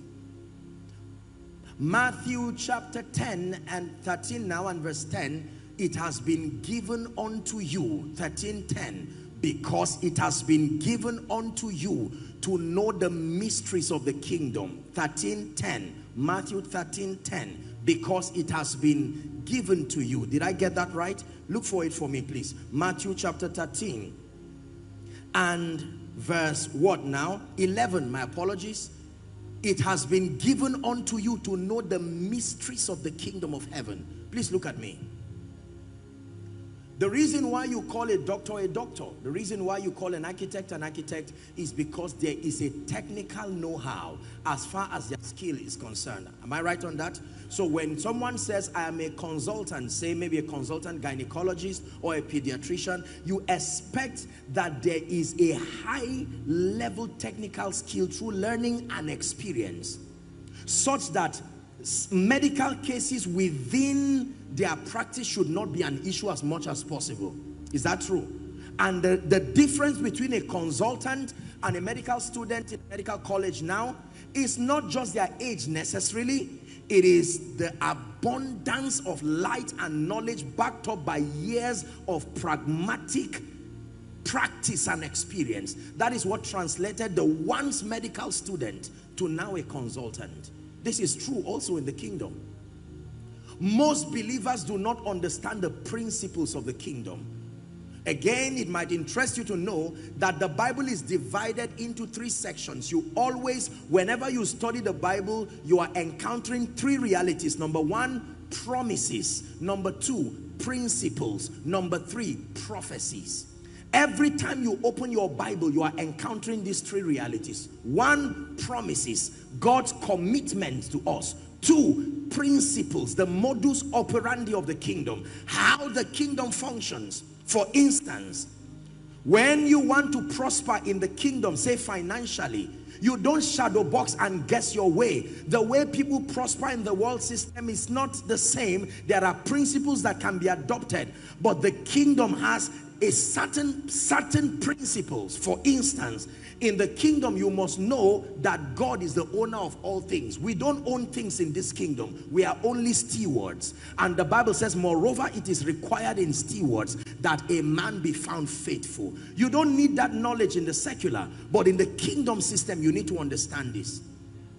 That everything belongs to god and we are only stewards then you now begin to apply the laws of diligence, relationships, value, productivity, giving, and all these spiritual laws together. You see that? You need to know the ways of God. Why do you pray? Do you know why? Why do you fast? Do you know why? Why do you study? Why do you have to speak the word of God? Why do you come to church? Why do you have to love even the unlovable? When you understand the ways of God, you practice the truths and the principles of the kingdom, not as a religious ritual, but now with understanding. I know you fast. My question is why? Do you know the relevance, the role that fasting plays in the overall growth and maturity and stability of the believer? Why do you give? I sat here and I watched many of you giving so my heart was so touched by your love for Jesus and your giving. But why do you give? Why do you sing? How does someone who is surrounded by challenges, ladies and gentlemen, will lock himself or herself in a room, write all your challenges and start singing and dancing around it? What formula is that? Where did you learn that from? What role does it play? The things that are written aforetime, the Bible says, they are for our learning so that we through patience and the comfort of scripture might find hope. Many believers are in ignorance as to the ways of God. So if someone comes to tell you, I've been attacked by demon spirits, as a matured Christian, or so you say, recommend the way out for him. Let me hear what you will tell him. Usually we'll say, let's pray. And we'll say anything and just say in Jesus' name. And we know that that person's solution has not come. We just ask him to go so that we can find peace. But we know in truth that that person is not going to be free because that does not look like the formula. When someone comes and tells you, I've been rejected, nobody loves me, I'm sincere, but it looks like good things, friends and good things go away. As a believer who understands the way of God, what is your recommendation to such a person? Again, let's pray. What are you going to say? You see that there is a lot of ignorance in the body of Christ. We have a lot of gaps in our spiritual understanding. And the Lord has put a conference like this to bring us close. Please don't miss tomorrow. I'm going to be sharing with you certain mysteries of the kingdom and help by the Spirit to connect some of these dots that with precision you can know you are a blessing. With the, with the intelligence of a consultant, you can see a believer and literally diagnose the problem in a moment and then you can help people with exactitude and precision. You can know that this family is in bondage because of this and this is the way and happy are you if you are a pastor. Imagine what happens to your church this Sunday. That you go back with this upgraded knowledge and you look at your dear people and say ladies and gentlemen the one you used to know is not the one preaching now sit down and let me show you with confidence the way of the kingdom and you return by next week with testimonies because the truth that you know has opened men to vistas of new possibilities you believe this this is how much God loves you to bring you this truth. Every time God has compassion upon men, he does not help them by bringing sentiments. He sends his word.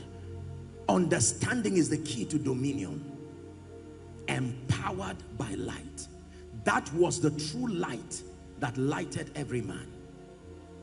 From the abundance of this knowledge, now impartation can come and when you receive that impartation, you will not make a fool of yourself. It will last. There is longevity to your impact because the impartation is resting upon knowledge. Let me recap and then pray. I gave you four dimensions of light that represent the knowledge you must intentionally pursue if you desire to be empowered by light. Number one, the knowledge of God and of his son Jesus Christ. Number two, the knowledge of yourself in light of who Christ is. Number three, remember? Give me number three. Yes. Hallelujah. Your place, your prophetic position and your place in destiny. Someone needs to return back home this night and say, Lord, I'm tired of escorting men, roaming around rolling any road that looks like destiny. Lord, what did you call me to do? What is my place? Where is in, in your prophetic program for Ghana and Africa? Where do I stand? And he will answer because the Bible says, call unto me and I will answer. I will show you great and mighty things which thou knowest not. And then number four, the last for tonight, you must have an understanding of the mysteries and the principles of the kingdom. The mysteries and the principles of the kingdom. Listen to me. Longevity has a mystery that controls it. Favor has a mystery that controls it. Speed has a mystery that controls it. Influence has a mystery that controls it. Are we together now? Walking in the gifts of the Spirit has a mystery that controls it. Being loved and regarded by all and sundry. Honor all of these dimensions in the kingdom the bible simply calls them exceeding great and precious promises that by them we might be partakers of his divine nature it says having escaped the corruption that is in the world through lust. Exceeding great and precious promises shrouded in mysteries. My final talk with you tonight is which of them do you not know? Do you know the key that controls speed do you know the key that controls longevity in this wicked demonic world? Or are you waiting until you die? Do you know the mysteries that control authentic, lasting kingdom wealth? Not manipulation and pranks and telling lies and living a fake life. Being blessed with the dignity of kingdom integrity. Do you know the mystery that controls final and total liberty from curses, yokes. Can I tell you, the truth is that everyone at some point or the other is connected to something that has to do with bloodline. It is our understanding of what Christ has done and then our knowing how to appropriate it. Knowing what Christ has done does not bring you liberty. It is knowing how to appropriate it with intelligence. Are we together? Yes. You can buy a new gadget, a fridge for instance, and never be able to use it. It never cools anything, but it is new, no denial. It can cool, no denial. And yet you will be you will be thirsty. You can buy an air conditioner and never be able to set it up. Yet it is new, yet it is true. If we say all those who have AC stand up, you will stand up. But all those who are enjoying the blessings of ACs, you can't stand up. This is how many believers are. Your salvation is a fact, but the experience is not yet true. This is why God brought us here. Can we stop for tonight? Rise up on your feet.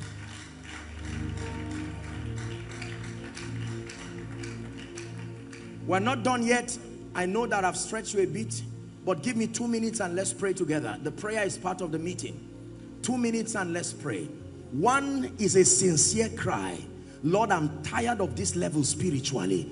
I'm ready to stretch to a higher level in the spirit. Someone pray. Let tonight's teaching provoke you. Whether you are a pastor, you are a prophet, you are an apostle, a co-laborer. One of things that this teaching tonight has done is to shake you and challenge you. The days of nominal Christianity, shouting and jumping over nothing is, is, is decently coming to an end. God is raising a people of knowledge, power, stature, maturity, dexterity, and intelligence. Lift your voice and pray. Father, it's time to encounter you genuinely. Encounter you genuinely. Ah, the generations connected to me. I can't fail my world. I can't fail my generation in the name of Jesus Christ. Stand to contend for light. That was the true light that lighted every man.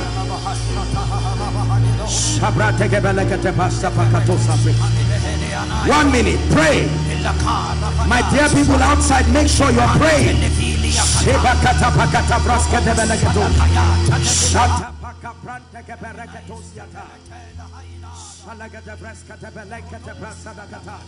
Light, light in the name of Jesus.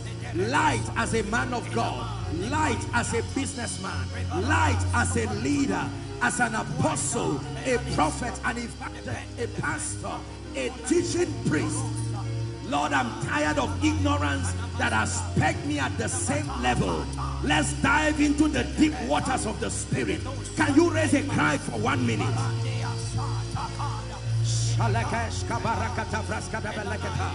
Ah, let my Christian experience be rich. Please pray.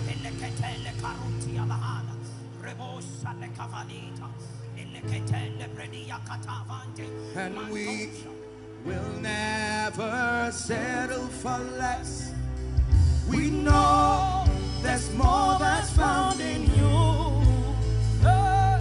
And we will never settle for less. When we know there's more that's found in you. What you see is not all there is.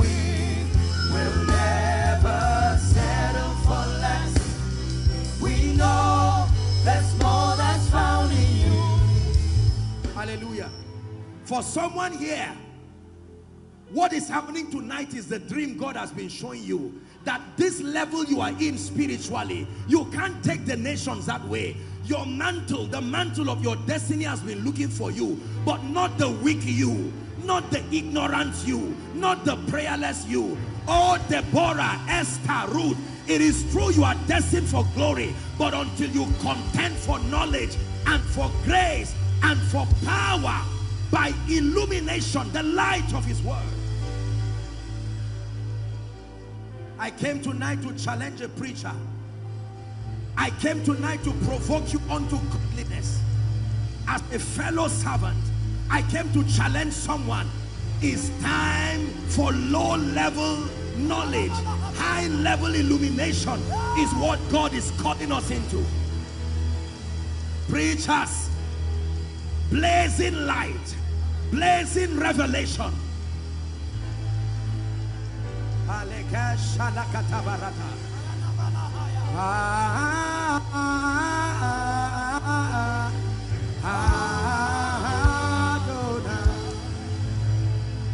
Ah,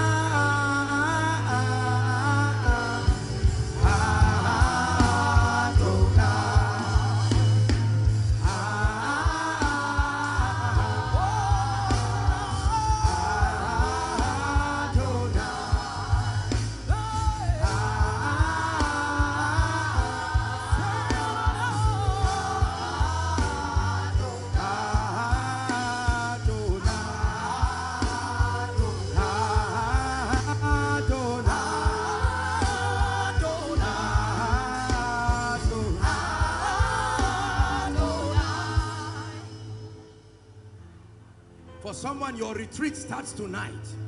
Ah, your retreat starts tonight. You will go back home and sleep will not come. You will wake up and hold on to the horns of the altar. It's time for the gates of my destiny to be open. It's time for the gates of my destiny. Shabrakata bareketa, embrakatos katiba lakatosh, shamasade, egrekete bereketas yata, nominal Christianity, goodbye. Shallow Christianity, goodbye. It's time to do business in deep waters, deep waters in the spirit, deep waters ascending in the spirit for high level illumination. Hallelujah. In Jesus' name. Just help that lady under the anointing. Let me just speak over you. Tomorrow, please, I do not want you to miss tomorrow because our impartation starts tomorrow and then we'll finish it up in the night. I want to show you some things by the Spirit of the living God. I truly believe with all my heart. I know that God sent me to everybody, but let me beseech servants of the living God, men and women of God, those who labor in word and doctrine, as much as God grants grace, please do not miss these sessions. There is what we need to hear. We came to strengthen ourselves, not to outshine ourselves, to strengthen ourselves. But there is what you need. I want to reveal to you God's prophetic blueprint for the season. You need to know what God is doing. It's a right for these words are faithful and true.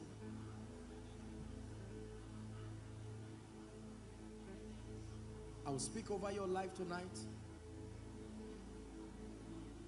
Our time is fast stretched. Father, I'm praying for everybody, but particularly for someone here whose hunger for you has gotten to its limit and they need to encounter you. Father, the grace for encounters. Right now, I stretch my hands.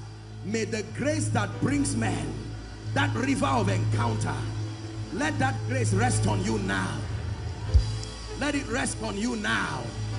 Let that grace rest on you now. By reason of this grace, his angel will wake you up in the night and begin to show you things that you do not know. Show you things that you have never seen. He will begin to describe for you God's prophetic agenda.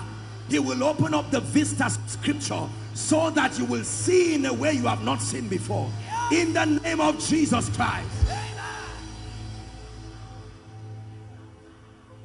For some of you, as you go to sleep tonight, may you have dreams that open up the blueprint of your destiny. Hallelujah. Do you believe what you are receiving? Hear me. There are some of you, there are certain relationships you will respectfully wave goodbye from this night because the kind of hunger that has come upon you, you, you mean business with God and with destiny. Hallelujah. I'm told tomorrow we're here about 8.30 or 9. Whatever, even if it is in the morning you come, come. Don't just sit down and be gisting around. While you are waiting, be praying in the spirit. I'm enlarging my capacity. While you are praying, see the destinies connected to you, saying thank you for being diligent.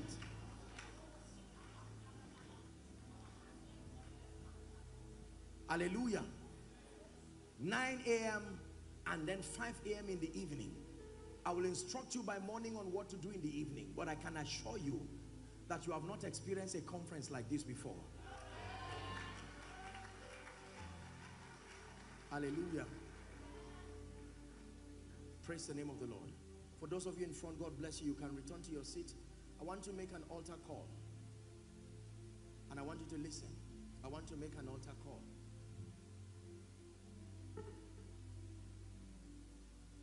There is a gentleman here.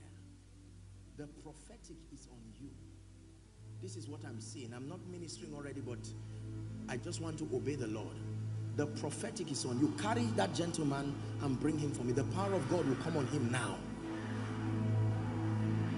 Oh,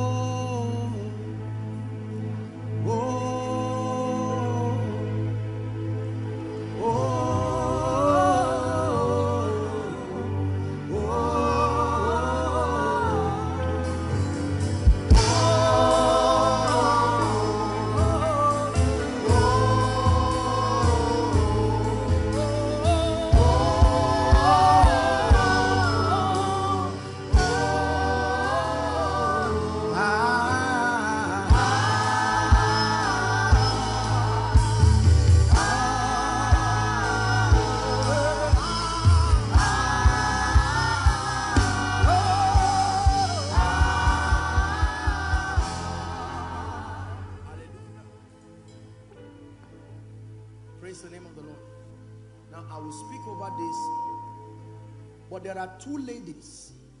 I'm hearing a deliverer. Please, I want you to bring two of them for me. The power of God will come on two of them now. Add them to this. Shele, Sala, Parus, Kali, Barindesh.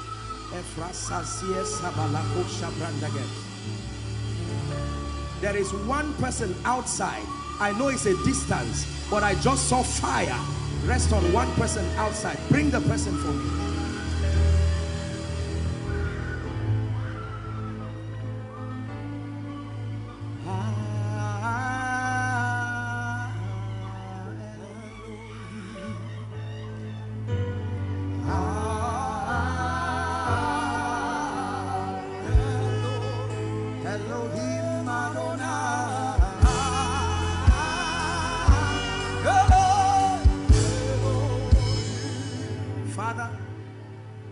Brought these people out.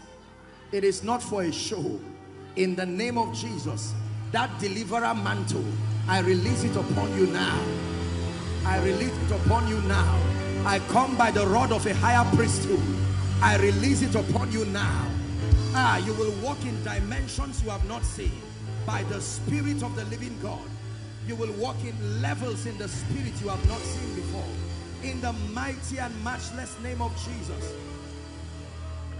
And for the gentlemen, I begin to fan that prophetic flame. Ah, the eyes that see and the ears that hear. In the name of Jesus Christ. For the seeing eye and the hearing ear belongs to the Lord. In the name of Jesus Christ. Hallelujah. Please do not miss tomorrow. There are some of you who need to call some people that you know. Maybe not everybody. But whilst you are here, the Holy Ghost is telling you, this brother needs to be here. This sister, it may even be your loved one. This is beyond just a meeting and a crowd. This is a kairos. It's called a prophetic gathering. In the name of Jesus, the Lord brought you out here and every grace that should rest on you, I release it now. To the glory of the name of the Lord. To the glory of the name of the Lord. In the name of Jesus Christ. Amen and amen. Now I want to make an altar call. When I began my teaching, I told you that the beginning of the believer's journey does not start with coming to church. Does not even start with encountering a pastor, prophet or apostle. No. The foundation, the commencement of the believer's journey. Once they are fine, they can be back to their seats. Those under the anointing, you can just leave them. There is a reason why. Now, hear me, please. The business of playing games with Jesus must come to an end in this end time, you see. You cannot continue to shadow box and dilly. No. It says, if Baal be God, serve him. If God be God, serve him. In every gathering like this, we have a crowd of people in the auditorium scattered across many outside and thousands others following online by way of television and even by way of a rebroadcast. In a meeting like this, the Lord adds daily as many as should be saved. There has to be someone in this place tonight who is saying, Apostle, give me an opportunity to make it right with Jesus. Perhaps you have been around church. Perhaps you have a Christian name. Perhaps you come from a Christian family. None of these in themselves equal salvation. You need an encounter with Jesus, the Son of the living God. Or perhaps there's someone here who is saying, I remember I made that decision, but right now I cannot truly say that I'm walking with God in truth. My life has gone haywire and I need a restoration. Now, let me give you an instruction as you come. For the sake of those who are in front, so you don't march on them, please be mindful of them. I'm going to count one to five. The moment the stage is filled up here, you will stand wherever you are, maybe the aisles. Those outside, you need not come in. You can just move to your projector screen or anywhere where there's an official there to make it easy. But I want to count one to five. We need to take this serious. I'm not calling everybody, but I'm calling someone who is sincere and saying, I will not lie to myself. I need to make it right with Jesus. And when I begin to count, don't wait for someone to be the first to come before you come. Be mindful again, repeat, of those who are in front so you don't injure them. Just smuggle your way through any space you can find in front. I begin my counting now. One. Come. Ghana, is this how you celebrate salvation? Two. Where would I be if you let me down? Where would I be? Come. If you let me down, Where would I be? if you let me down, Come to Jesus. It is never too late to make it right with Jesus. Win that war of destiny. Your children will say thank you. Those connected to you will say thank you. Don't sit back saying they know me or they can see me. No! Come and mean it serious with Jesus. Mean business with him tonight. Apostle, I want to come, but I'm not yet sure. Come, come. You can be sure once and for all.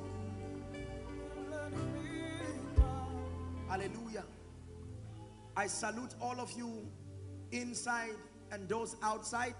And for someone who is following in your home, your office, following by way of television, as I lead these precious people to make that prayer, that call to salvation, make sure that you make it. You're not reciting a poem. Let it be from the depth of your heart.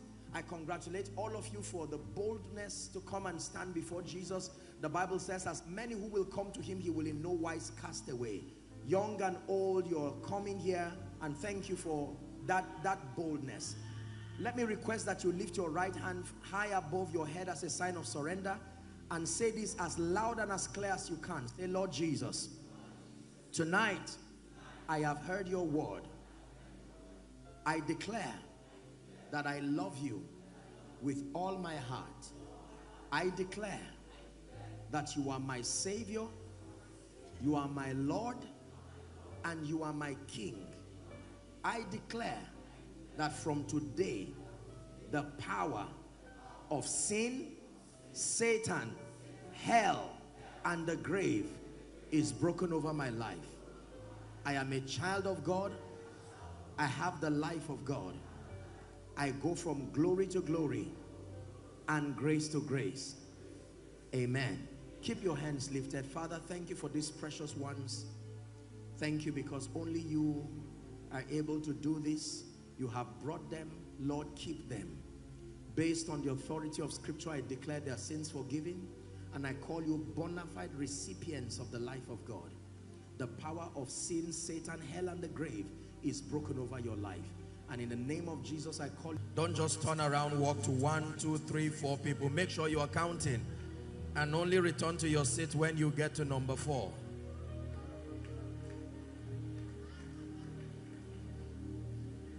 Hallelujah. Amen. Bishop, thank you. Thank you. Good morning, everybody. The psalmist said, I was glad when they said unto me, Let us go to the house of the Lord. There are things that you only receive in the house of the Lord. You cannot receive it in a bank. You cannot receive it in a museum. You cannot receive it even in a school. I made a statement two, I think a week or two back home. I said, the house of the Lord, the church of Jesus Christ, is the cheapest platform for transformation. Because if you are to be part of transformation through a secular institution, you will need to write an exams, you will need to qualify. Perhaps they will have regional quotas that they have to take. Are we together? Yes. You need to be within an age range to be admitted in certain institutions. But all it takes to come to the house of God is your desire, and that's it. So it is the cheapest platform for transformation. Hallelujah. Let's lift our hands to Jesus and ask him again to speak to us. Talk to the Lord in one minute. Speak to me, O God. Speak to my life. Speak to my destiny. The entrance of your word gives light and understanding unto the simple. Ask him for a visitation. Ask him for a very strong visitation upon your spirit man. Father, give us strong visitations this morning.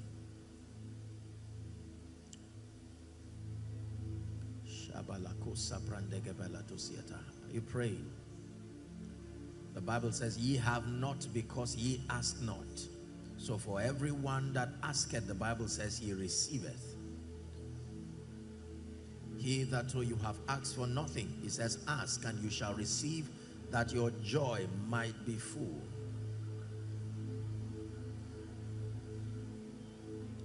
For in Jesus' mighty name we have prayed. Holy Spirit, we pray that you breathe upon us, breathe upon the word. Let it produce light and understanding unto our spirits. And we pray that this session will be mighty upon us as far as transformation is concerned. Visit us so greatly and be glorified. In Jesus' matchless name we have prayed. God bless you. Please be seated. So we began yesterday discussing the role of light as far as the empowerment of the saints is concerned.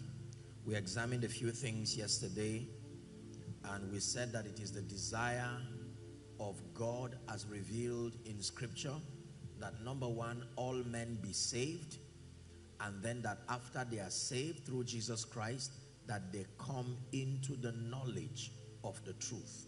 And we did agree yesterday that the stability of the believer is predicated upon his access to light, high level spiritual illumination. We said to have light alone is not sufficient. You must have light to the degree that can drive away darkness. Hallelujah. And um, I did tell us yesterday, just a quick recap, that light in scripture expresses three things. One, knowledge. Remember? Two, manifestation. In fact, the Bible defines light as that which makes manifest. And then number three, glory. It says, arise, shine, for your light is come, and the glory of the Lord. So light is connected to glory. Hallelujah. And I said that dominion in any area is a function of sufficient light. You do not walk practically in dominion over elemental forces, over the vicissitudes of life, commanding your reality. It will only happen at the instance of light. One more thing I said yesterday is that no matter how long darkness has been, it does not matter when light comes. Remember my example yesterday? So if a room has been dark for decades, years, months, weeks, days, hours, maybe minutes, the moment you switch on your light, if it is light indeed, it drives darkness instantly without discussion. John 1 5. And the light shineth in the darkness, and the darkness comprehended it not. Hallelujah. And I told us we must press for knowledge, knowledge that gives us true dominion in this kingdom, so that we're not just professing Christians, we're not just Christians who potentially have the life of God and yet cannot demonstrate it, but that we must translate the kingdom experience from prophecy, from potential to experience. Jesus was speaking to Nicodemus in John 3. When you read 2 to 5, he says, Except ye be born again, you cannot see the kingdom. Then he now says in verse 5, Except ye be born of water and of the Spirit. He says, Ye cannot enter. Now, this is the experience of the kingdom where you can taste and see that the Lord is good. And by the way, I hope you know that the dominion of the saints is how Jesus is glorified. Hallelujah.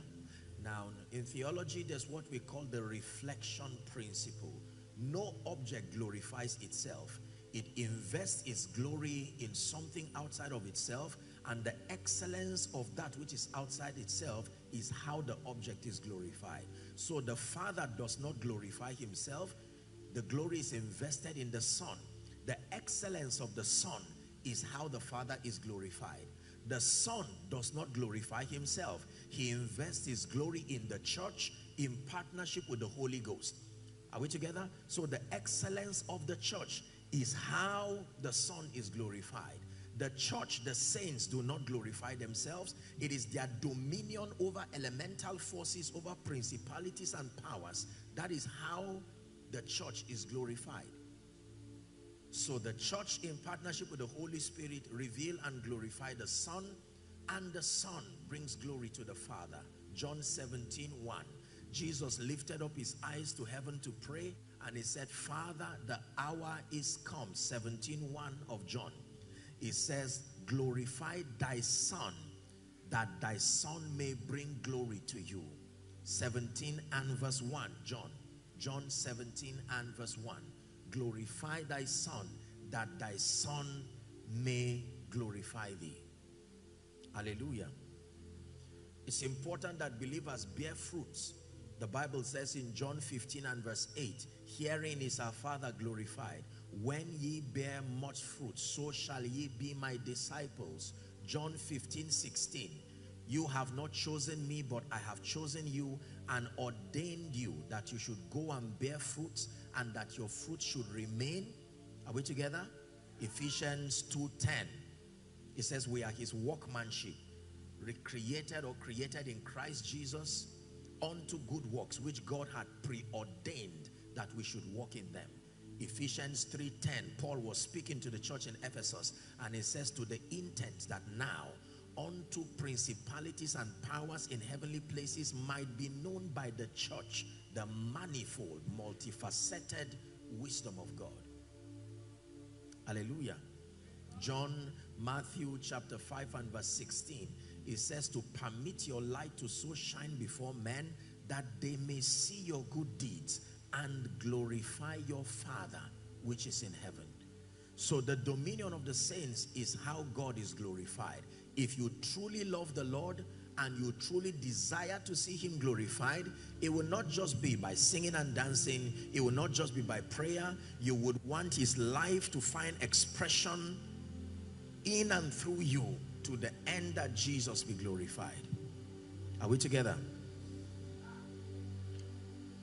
So, yesterday, I said how that every aspect of every result that we desire in the kingdom has a light component, a knowledge component that activates it. And I'll begin my teaching from there now. Years ago, I had a vision. And the Lord would teach me this very practically. And in that vision, I was caught up in the spirit and I saw a giant gate, an ancient gate. And that gate was made up of smaller doors, just like post office boxes. And they were opening and closing as I watched. Opening, many of them, opening and closing. And every time that small door opened, light would emanate from it. And on every of those small boxes were written scriptures. And then the Holy Ghost told me that every scripture you see has a grace component behind it that empowers the saints to walk in the reality of it. So every time you catch a revelation, that light from that scripture enters you and you are now empowered to be a living epistle as far as that dimension of reality is concerned. So prosperity in the kingdom has a body of knowledge that controls it. Longevity in the kingdom has a body of knowledge that controls it. Divine health and vitality has a body of knowledge that controls it. Impact and influence has a body of knowledge that controls it. The assignment of the teaching priest, like I said yesterday, is to methodically teach and guide the saints from one mystery to another are we together now? So that when you have been in church for a while, you should literally surround yourself with the mysteries of the kingdom like chariots. And therein lies your dominion. That when you stand before any door, you know how to open it. You can live long, you can walk in health, you can walk in joy and vitality, you can literally exert dominion over elemental forces, over strange spirits that attempts to thwart the destinies of men. And this is why we are here. I told us yesterday that there are six dimensions of knowledge, six dimensions of light that every believer must access to be relevant as a witness, to be relevant as an ambassador, to be relevant as light and as salt. Hallelujah. By the way, maybe it may interest you. Let me just state this very quickly and then we'll finish where we left off. That believers are classified in scripture in twofold. There is our classification based on identity. Then there is our classification based on function and assignment. Don't forget that. When the Bible classifies believers, we are classified twofold. Number one, based on our identity. So, Jesus says, I am the vine. Is that true? And then it says, we are branches. So that is classification based on identity. For instance, we are called heirs of God and joint heirs with Christ. The purpose of that classification is to help us understand the extent of our oneness. Ephesians 6 verse 10, it says, finally, brethren, be strong in the Lord in fact, when you read from Amplified, I wish we could get Amplified of that scripture. It says, draw your strength from your union with him. So that your strength is derived, be empowered from your union with him. The consciousness of your oneness with him. Are we together? The branch never struggles to get nutrients from the ground because it is connected to the vine, connected to the root. So believers are classified based on identity, but believers are classified based on function. So he uses words like you are light, you are salt, you are ambassadors. Acts 1 8, you are witnesses unto me. You are kings and priests. Revelations 5:10. All of these classifications attempts to describe our assignments, not just our oneness, but our function. Hallelujah. So back to the five dimensions of knowledge. Number one, yesterday we said the first dimension of knowledge that the believer must access, light indeed, is that you must know God and his son Jesus Christ. Are we together? Very important. Number two, we said you must know yourself in light of who Christ is. Your identity in Christ is a major requirement if you must walk in the experience of victory. Number three, we said you must know yourself in God's program and in destiny, your prophetic place as far as God's program is concerned. This will be the cure for complex inferiority, jealousy, pain, anger, and all those petty flesh attributes that they are literally cured when you find your place in God's program. Number four, we said you must understand the mysteries and the principles of the kingdom. Did you write that down yesterday? Yes. That you literally excel in the kingdom when you have an understanding of the mysteries, the modus operandi of the kingdom. Before Moses would cry for the glory of God, he said, show me your ways. And then later on he would say, show me your glory. Hallelujah. Jeremiah chapter 6 and verse 16 encourages us to stand in the way. It says, and see and ask for the old path, wherein is the good way, and walk therein, and ye shall find rest for your soul. So there is a way that leads to life, and there is a way that leads to destruction. In fact, the Bible says there is a way that seemeth right unto a man. It is not right, but it seemeth right. We don't know how long it can seem right. It can seem right for 20 years of your life, only to find out you were wasting your time. It says, but the end thereof are the ways of destruction. Let's do number five now. Continuing from where we left off yesterday. Number five, what is the fifth kind of light that every believer who desires to do business with God in this end time must contend for? Are you ready? You must understand man as the zenith of God's creation. Just write this one and please listen carefully. You must understand man, M-A-N, man as the zenith of God's creation. Can I tell you, in all your learning and in all your knowledge, if you do not understand man, you will live a defeated life as far as the cosmos is concerned. You must know God, you must know yourself, but you must understand the world of men. Two scriptures, Psalm 8, 1 to 6, a scripture that has blessed me for so many years. O Lord our God, how excellent is thy name in all the earth, who has set the glory above the heavens. Reading to verse 6. Out of the mouth of babes and sucklings thou hast ordained strength because of thine enemies that thou mightest steal the enemy and the avenger. Verse 3. When I consider the heavens, the work of thy fingers, the moon, the stars, which thou hast ordained, what is man that thou art mindful of him, nor the son of man that thou visitest him? Keep four. We're going back to four, please. And then we'll do five. Just go back to four. What is man? The psalmist is asking a question. He's saying, I have considered all the works that you have created, but none of your creation commands your jealousy and attention like man. So what is in man that is not in plants? What is in man that is not in the sea? Why are you so attentive to man?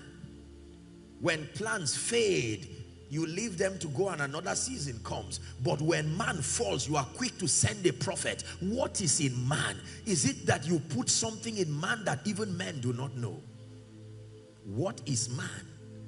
That thou art mindful? Are you not so powerful? Why do you come? You see, the nation of Israel would walk against the ways of God and they usually would be given to their enemies. Now in slavery and servitude and pain and loss and despair, they will cry unto God and here he comes again. God was not ashamed to demonstrate his vulnerability towards man. So the psalmist studied this and said, no, there has to be something about this man is it that you cannot wipe them away and create a new race of obedient people? Remove their will and let there be a species of totally obedient people. How come the same man you will bless them, they will sin against you, walk against your ways and go to worship other gods and say, God, we are not interested in you. And God will say, okay, fine. After a while, by himself, he will now look for a prophet and say, talk to these people. I have loved you with an everlasting love. I have drawn you with my loving kindness. Are we learning now? What is in man that makes God so vulnerable as though he's lost his power? That God sits in the heaven and all he's thinking about is man. It's in your Bible. The Bible reveals the thoughts of God. How could such a mighty God, the monarch of the universe, He's not thinking about any plan whatsoever. He sent Jesus because of man, created things because of man, fought Satan because of man. Jesus is at the right hand interceding because of man. Everything in heaven because of man. What is man? If God is asking that question, you better ask it too. What is man? That means there is something deeply mysterious about man. Hallelujah. In a teaching series called Let Them Have Dominion, I taught about what the condition it takes to be a man. Because not everybody is man. Not everyone on earth can be called man. There are three conditions, and that's not my teaching, but there are three conditions for you to be called man. Not everybody is man. That is why redemption is not for everybody. Angels are not men. They can't be saved. Are we together? For you to be a man, you first have to be a spirit. If you are not a spirit, you can't be a man. Number two, that spirit must reside within a mortal body. If that spirit is not trapped within a mortal body, it cannot be called man.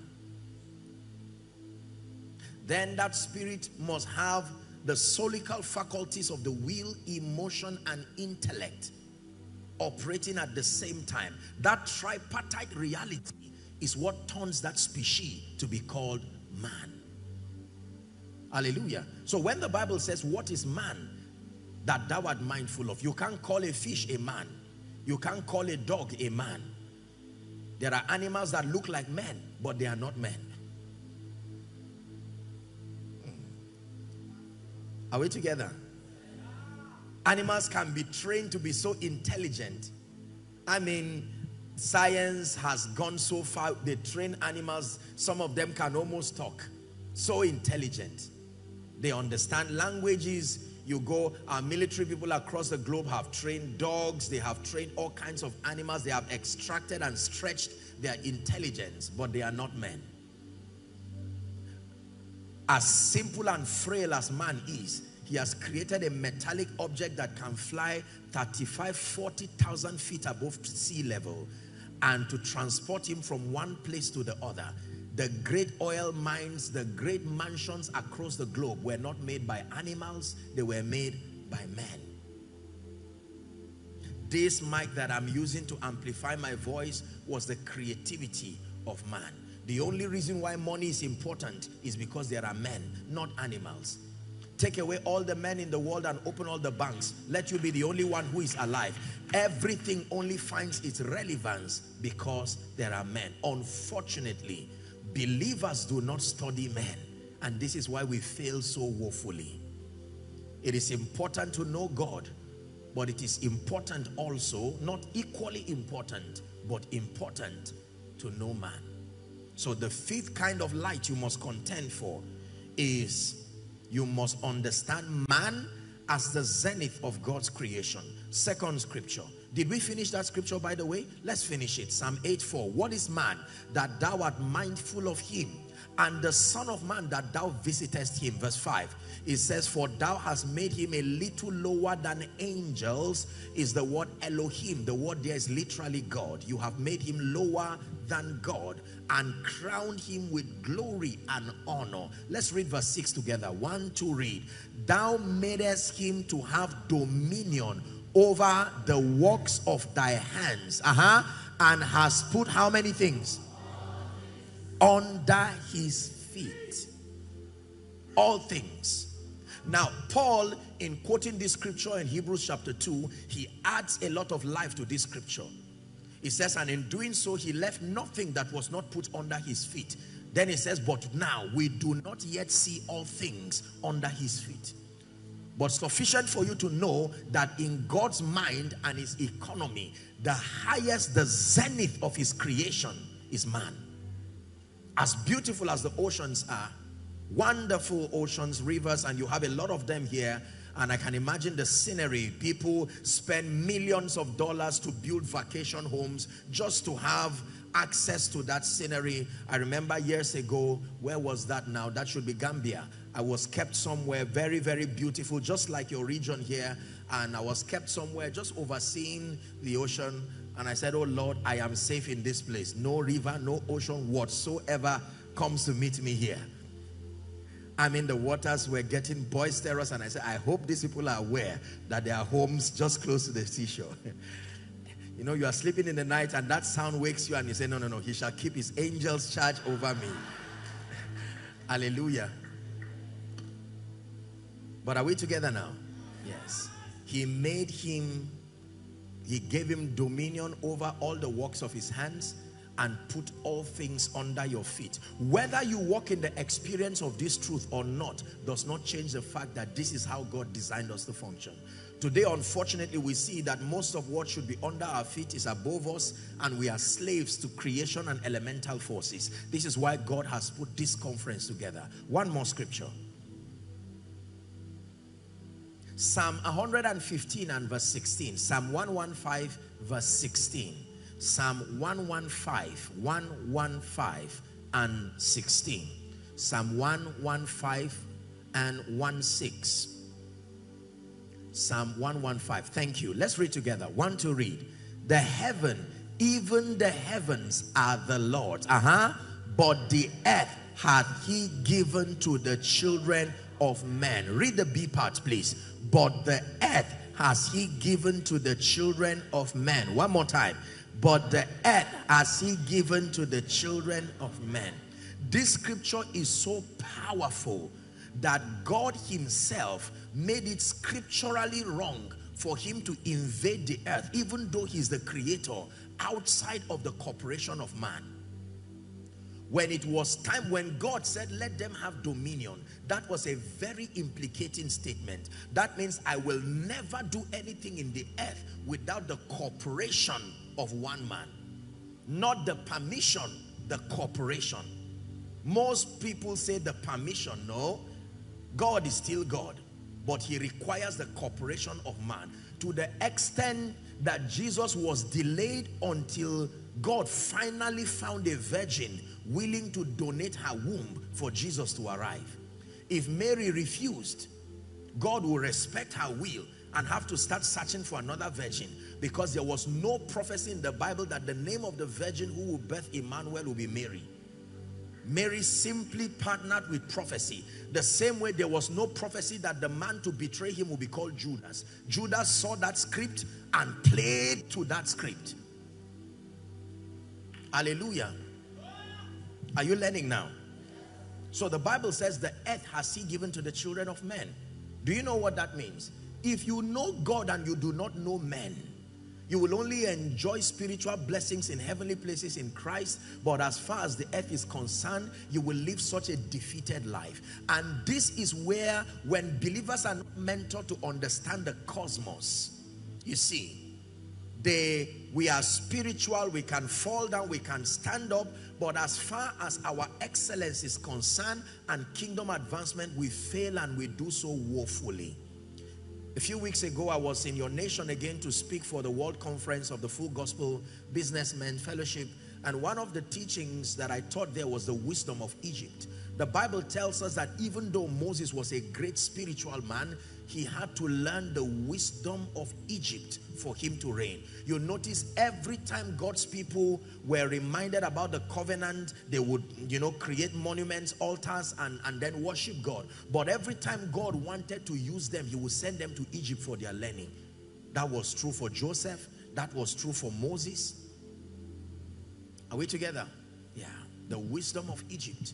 Most believers do not understand the wisdom of the cosmos. So we fail in business, we fail in politics, we fail in every other aspect because there is no abundance of light. We do not understand men. And sometimes we make sincere mistakes like saying, I don't need any man. If you are saying that to describe the sovereign power of God, you are right. But if you are saying that as far as your walk in the earth is concerned, you will be learning a slow but painful lesson through the years you have left.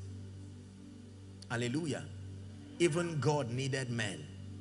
The problem of the man in John chapter 5, please give it to us. John chapter 5 from verse 1. There was a man who was in a pool called Bethesda. Let's go to verse 2. It says, a, a, a, a porch there, Bethesda, having five porches. Verse 3. It says, Give us verse 3 media. In this lay a great multitude of impotent folk, of blind, halt, withered, waiting for the movement of the water. Verse 4 now. It says, For an angel went down to a certain in a certain season to stir the pool, trouble the water, and whoever was the first to jump into was made whole of whatever disease he had. Now, verse 5. And a certain man was there which had an infirmity. How long? 38 years. This is one of the longest conditions we know that a man carried, you know, a man carried a problem, a, a plague so long. We don't know how long Job's own lasted. We know that Abraham's own lasted for about 25 years. Now, this man had 38. The Bible says, and when Jesus saw him lie, he knew that he had been now a long time in that case. And he said unto him, Will thou be made whole? Listen to the man's problem, verse 7. The impotent man answered him, Sir, I have no man. This is my problem. It's not that I do not know where the healing is. I am aware that there is that possibility, but my limitation, what has multiplied my pain and kept me here for 38 years is not the sickness. The solution to it has all, it comes every year, but I have no man. It is dangerous to be alone. I have no man.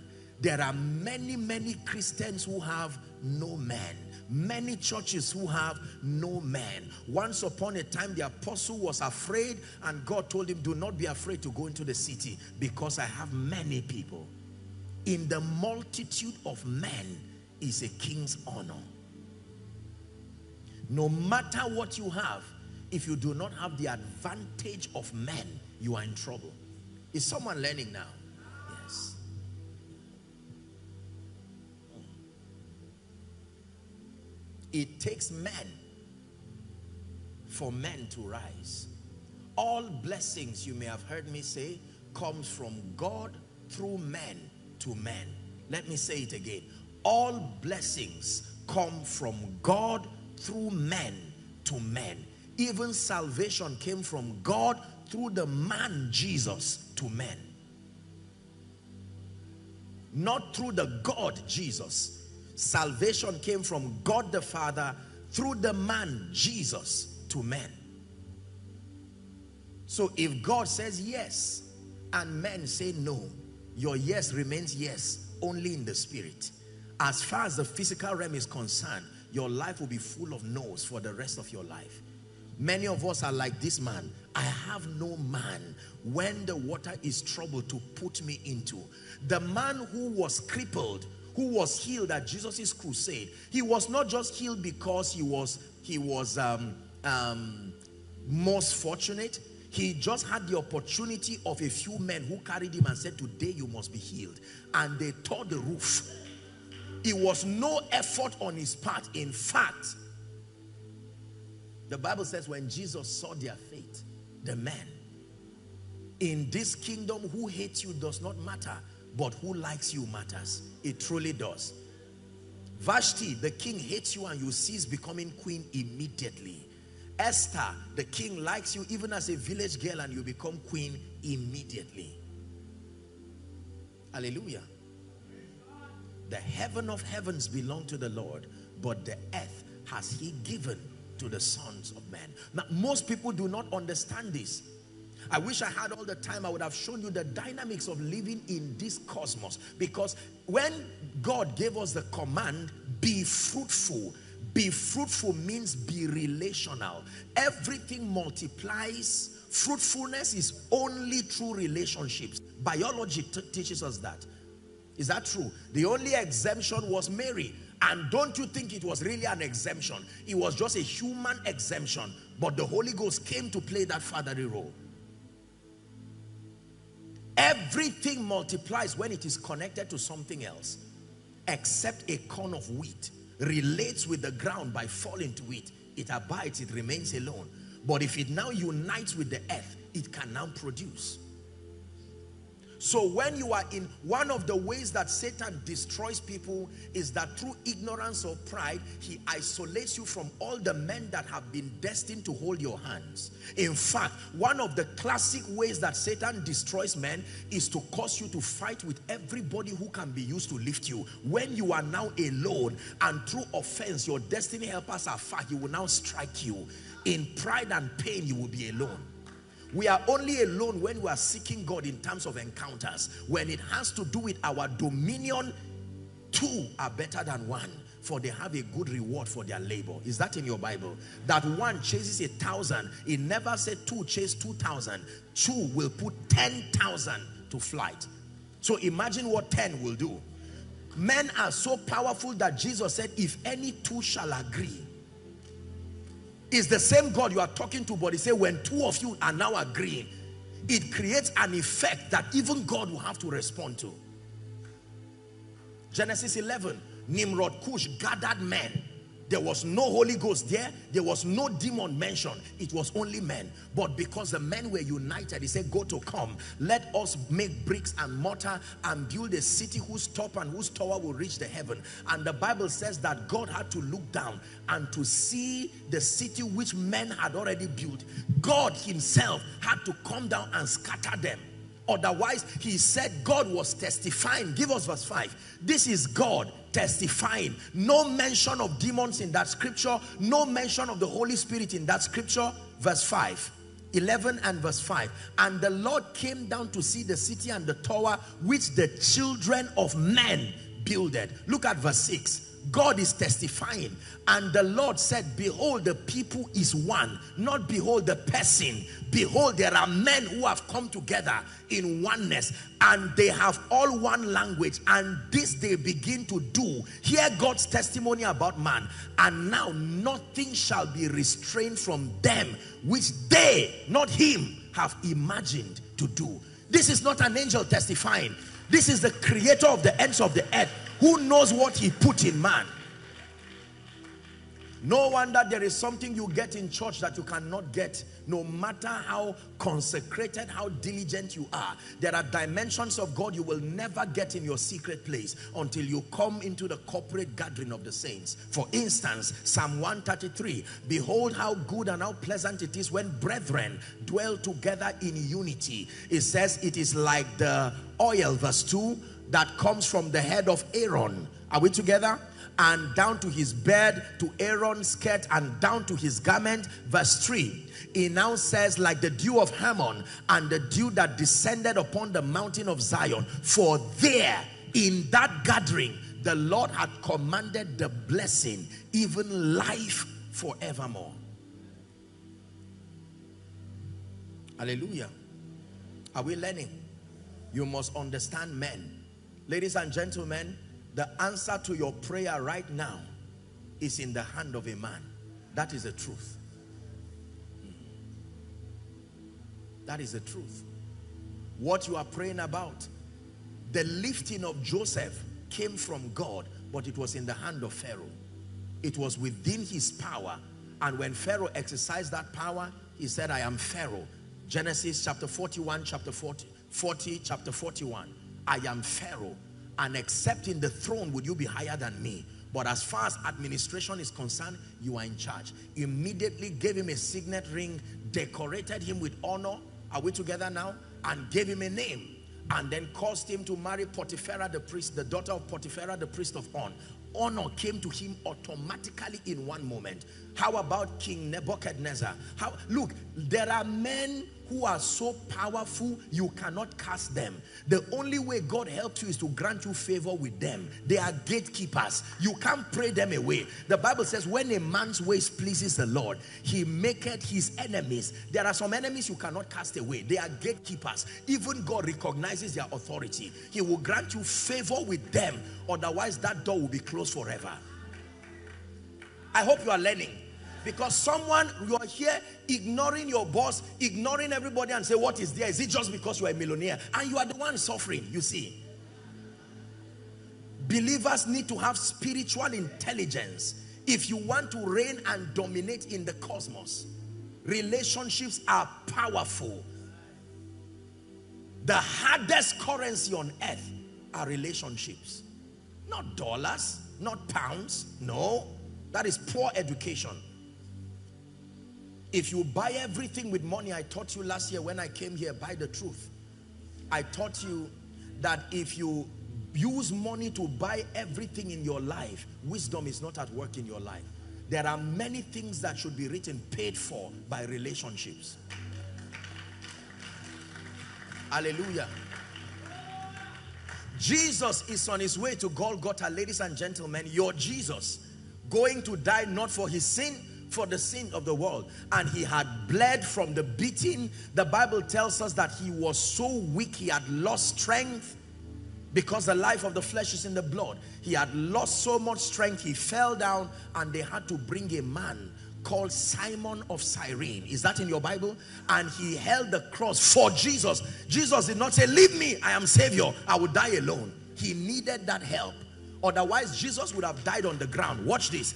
If Jesus died on the ground, your sins will not be saved. Because it is written, cursed is the one who hangs on a tree. He had to die on the tree, not on the ground.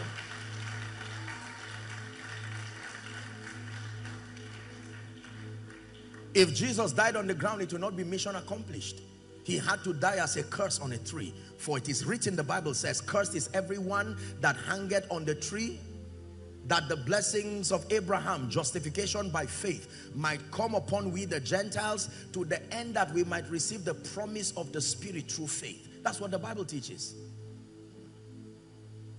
A man.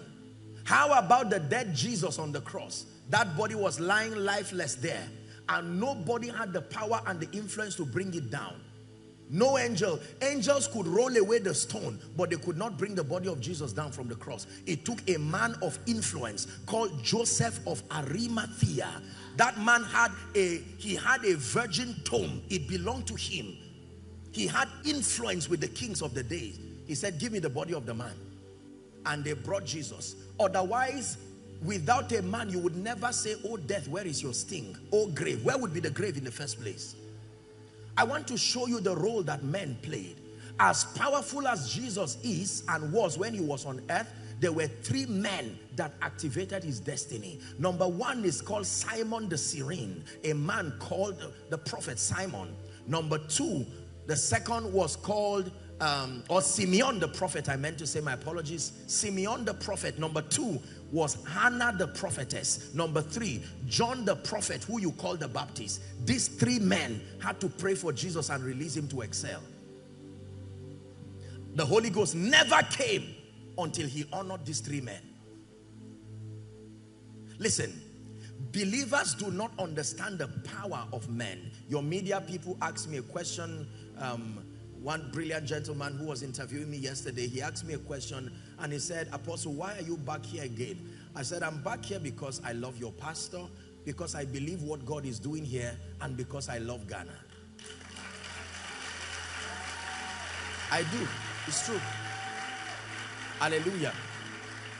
I was teasing them yesterday and I told them that I will get an affiliate citizenship. Hallelujah. Praise the name of the Lord. But you get my point. Don't go around hating people and say it doesn't matter. I know the Holy Spirit. You will really suffer. You will. I assure you. Um, this is not a prophecy. I'm telling you by wisdom. Don't go around pushing men. You push your destiny helpers, your divine connectors, the men of influence in your life. You push gifted people. You push burden bearers and say it does not matter. You will need to swallow your pride. Restore certain relationships. Swallow your pride. Listen. Listen to me when God in Genesis chapter 12, are you learning? Am I wasting your time? When God in Genesis chapter 12 called Abraham, he was called alone. He was called alone. Given all the blessings, I will make your name great. And Lot just put his ears and said, what is God telling this man? And when he heard it, Abraham was about to go. Lot said, no way. God did not call me, but I will follow the one God called. And watch this. When we get to Genesis chapter 13, everything Abraham had Abraham had, Lot had. To the extent you do not now know who God called and who followed. Because the blessings followed the one called and the one who was following. Now, but there was problem. The Bible says contention rose against the men of Abraham and the men of Lot. Lot would have said, guys, don't be foolish. You don't know what it took me to get this. You better apologize to these people and maintain these relationships. But Lot was puffed up in pride and Abraham said, we be brethren. Let us not fight. He said, look around. Choose where you want.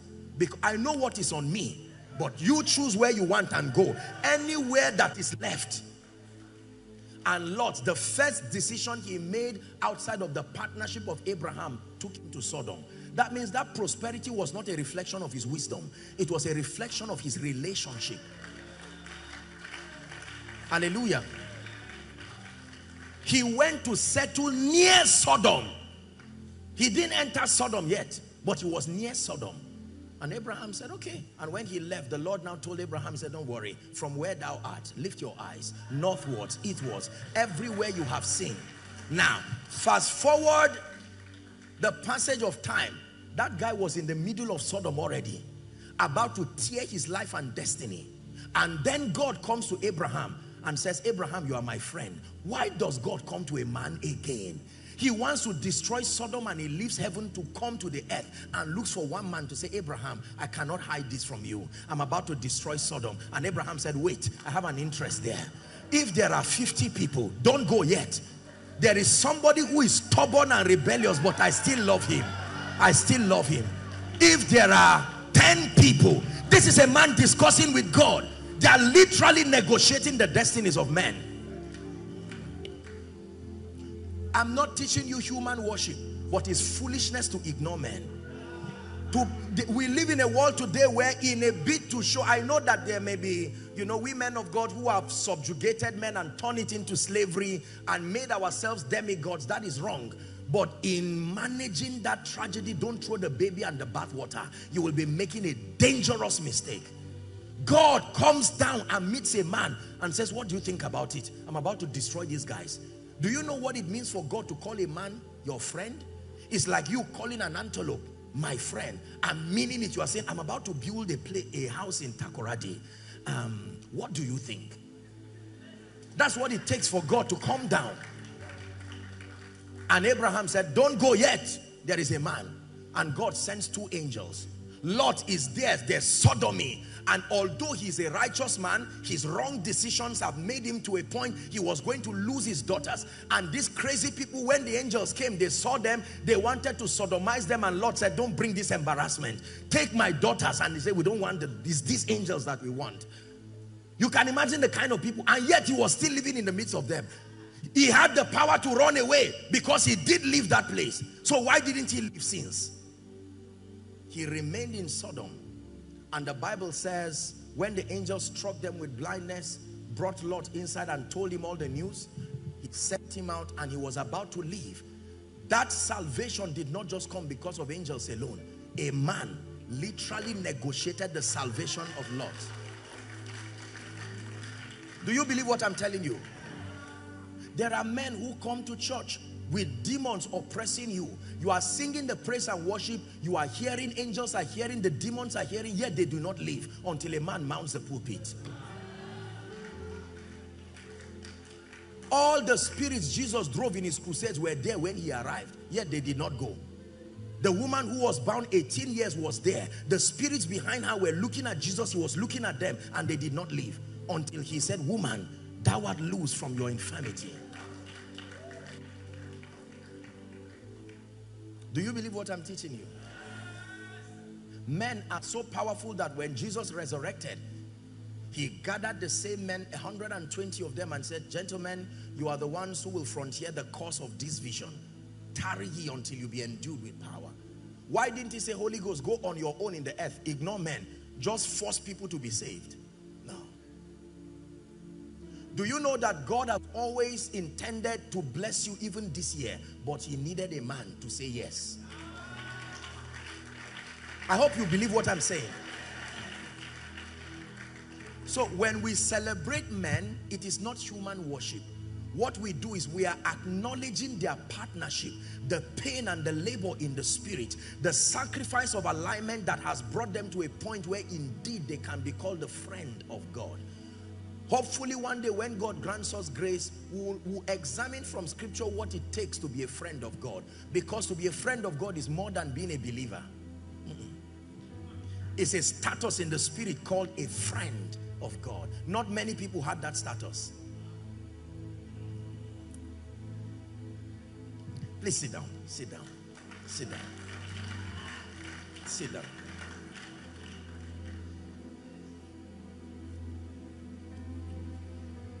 Pray in the spirit for one minute. Harasanes kalebaratosia. Holy, holy, blessed is he who comes in the name of our God.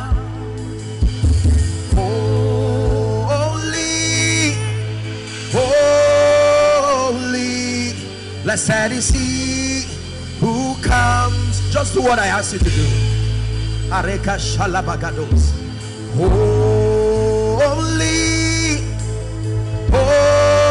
holy, blessed is he who comes in the name of our God. Hosanna,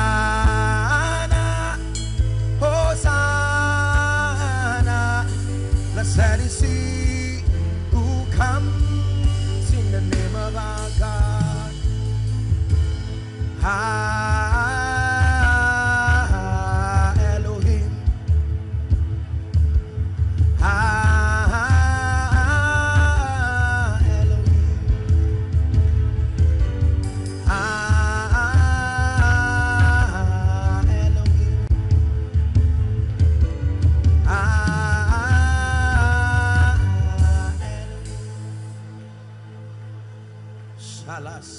sabradiata. One minute, pray in the spirit. You are receiving as you are praying. You are receiving as you are praying. Divine realities are being imported into your spirit. One minute. It's part of the conference.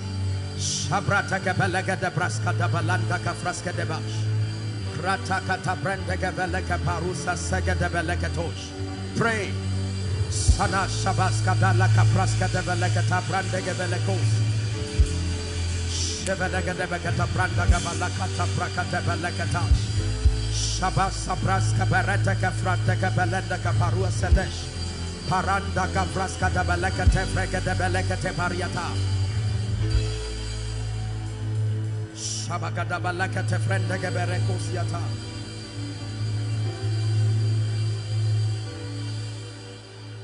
In Jesus' matchless name we have prayed. In Jesus' matchless name we have prayed. Ladies and gentlemen, hear me. This revelation alone, if this is all you know, if this is the only light that comes, it is not sufficient to make you rise to the zenith of your prophetic destiny, but it sure will not keep you on the ground. Men.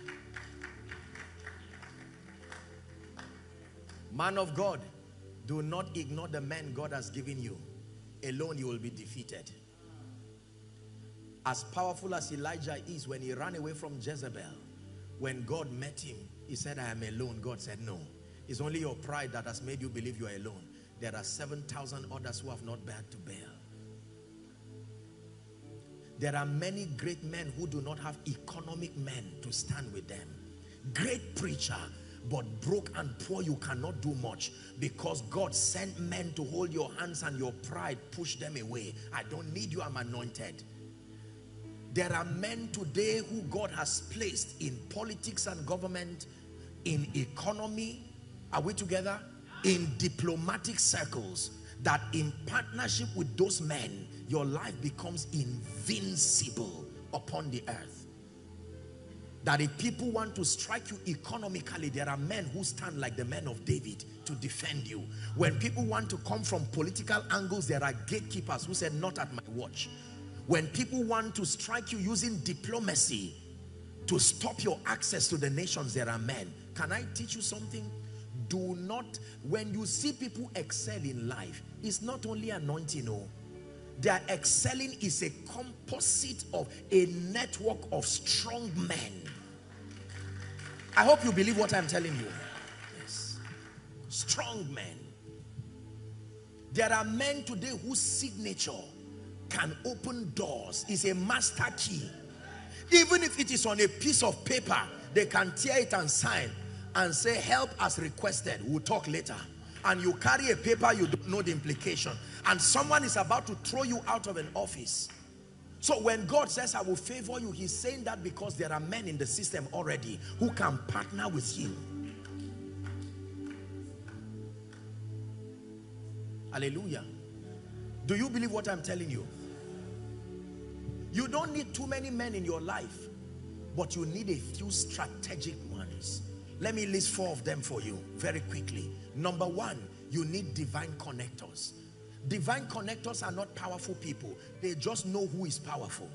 Divine connectors are like the slave girl the slave girl that was with, Nam, um, with Naaman.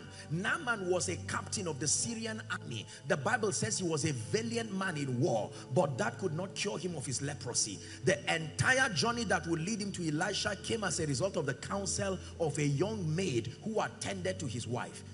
Divine connectors do not have the form and the fashion to be desired. It takes humility and discernment. Your divine connector can be, as we call it in Nigeria, a bus conductor. Your divine connector can be someone, your cab driver. You order an Uber or a Bolt and someone can be in that car listening to a man of God's message. And your 20 minutes journey can be the beginning of knowing the grace that will help you. Divine connectors are powerful. That is why if you only respect great people, you will be in trouble. Because great people are enhanced and helped by supposedly average people. When you see an office looking clean, it's not the CEO that cleaned it. There was someone who cleaned it and put things in place. And that someone who cleaned it can choose to pull away your file. And that's the end of it. As small as he is, he can stop a CEO from getting a contract. Respect great people, but honor small people. Just for sake of description. Hallelujah. There are people who only respect those who are rich, anointed, and great. Anybody who is your contemporary or below you, you can kick them while you are honoring others. It's hypocrisy. The Bible says, honor all men, and it says, honor the king. So you can see a little baby, can even be your daughter, playing all the time, and one day she'll say, Mommy, let's go to church. That was the Holy Ghost speaking. Because something would happen in church that day that will redefine your life. Your gate man all the time can watch you and you say, how are you, sir? But one day he will say, sir, this is your sickness. There's a man of God I know. I don't know if you can talk to him. And that can be your connection point. Someone can be passing a flyer randomly and pass the flyer of a seminar that you may just collect, but that can be the answer to your prayer. The key to working with divine connectors is discernment. Always discern. As weak as they may look, Number two, men of influence. The second group of men that you need in your life are men of influence. Men of influence are men of timber and caliber through their sacrifices and for most of them the dignity of kingdom integrity interplaying the laws of the kingdom and the laws of success have arisen to a point of notoriety and influence their endorsement, their referral, their recommendation to your life can redefine your possibilities. Hallelujah. The wine presser had a dream. Joseph interpreted it. There was no reward. The baker had a dream. Joseph interpreted it. There was no reward. But when the king had a dream, as soon as Joseph interpreted it, he became prime minister. Three men had dreams. Joseph interpreted three people's dreams. The problem was the status of the dreamers. Ah, when you interpret a king's dream, you don't remain in the prison again. So when God wants to lift you, he will not just send dreamers. He will send kings who are dreamers. He interpreted the dream of the wine presser. He interpreted the dream of the baker.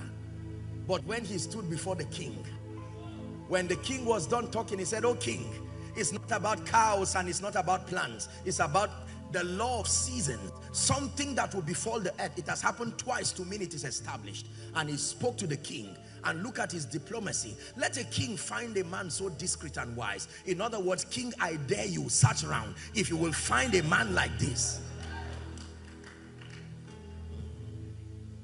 Are we together? When you serve kings, you never serve from the prison.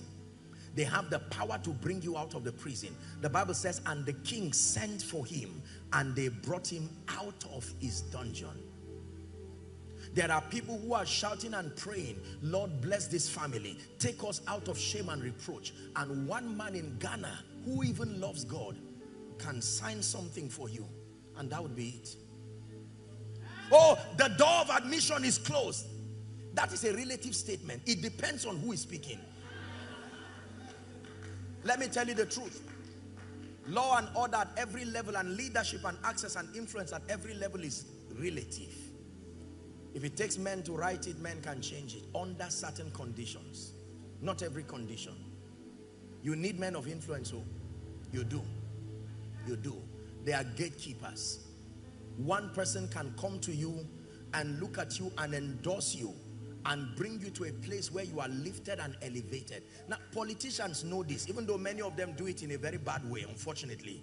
But most of them understand the power of relationships. You may have heard it in my teaching. Why will a billionaire or a millionaire travel across kilometers to come and celebrate the birthday of a rich man's two-year-old son? Is he his mate? Why did he arrive there? I mean, come on, please. A man that told you you've been trying to get in touch with him, he's told you, I am busy. Yet you are watching TV and you are finding him. And then a television station is recording the birthday with all the adverts waiting online. They are recording the birthday of a two-year-old child playing around and pouring drink on the ground and you see very noble men nodding. Did they really come for the birthday?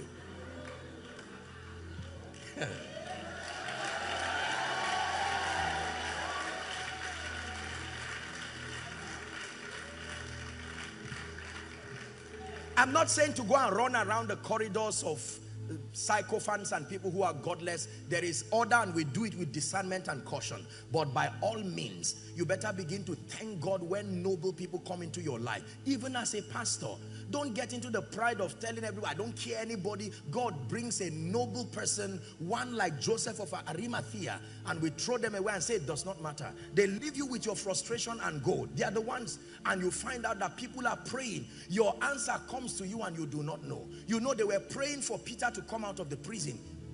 In Acts chapter 12 when Peter came out of the prison and went to where believers were praying, they opened the door and saw him and closed it back. They said, no, it is his angel. This is the guy they were praying about. And yet he had come as an answer. And they closed the door again. They said, let's keep praying. Most believers keep praying, but when their answers come, they come in men and they do not know. The moment you start praying, start discerning the men who are coming. Because answers come embodied in men. Sit down, let's finish up. So number one, divine connectors, two men of influence. Number three, gifted men. I was watching your media recap of my teaching yesterday and I just whispered to the bishop, I said your media people are nice people. Their production, their, their intelligence for production is good. Hallelujah. Now, as a member of this church, you are happy but were you the one who did that work? No. But you can share in your glory, in the glory of the, you know, the commendation. Why? Because of the presence of gifted men. Perhaps the men who did this now are nameless, faceless, somewhere doing their work. Gifted people are powerful. The greatest corporations on earth thrive well because they take out time to invest in bringing together the best minds. Gifted people are a blessing Gifted people are a blessing. When God brings gifted people to your life spiritually, corporately, don't throw them away. Appreciate them. Gifted people are powerful. You don't appreciate your expert driver till you sit to be driven by one who doesn't know what he's doing. And may God help you that you don't know the scriptures that guarantee long life. Hallelujah.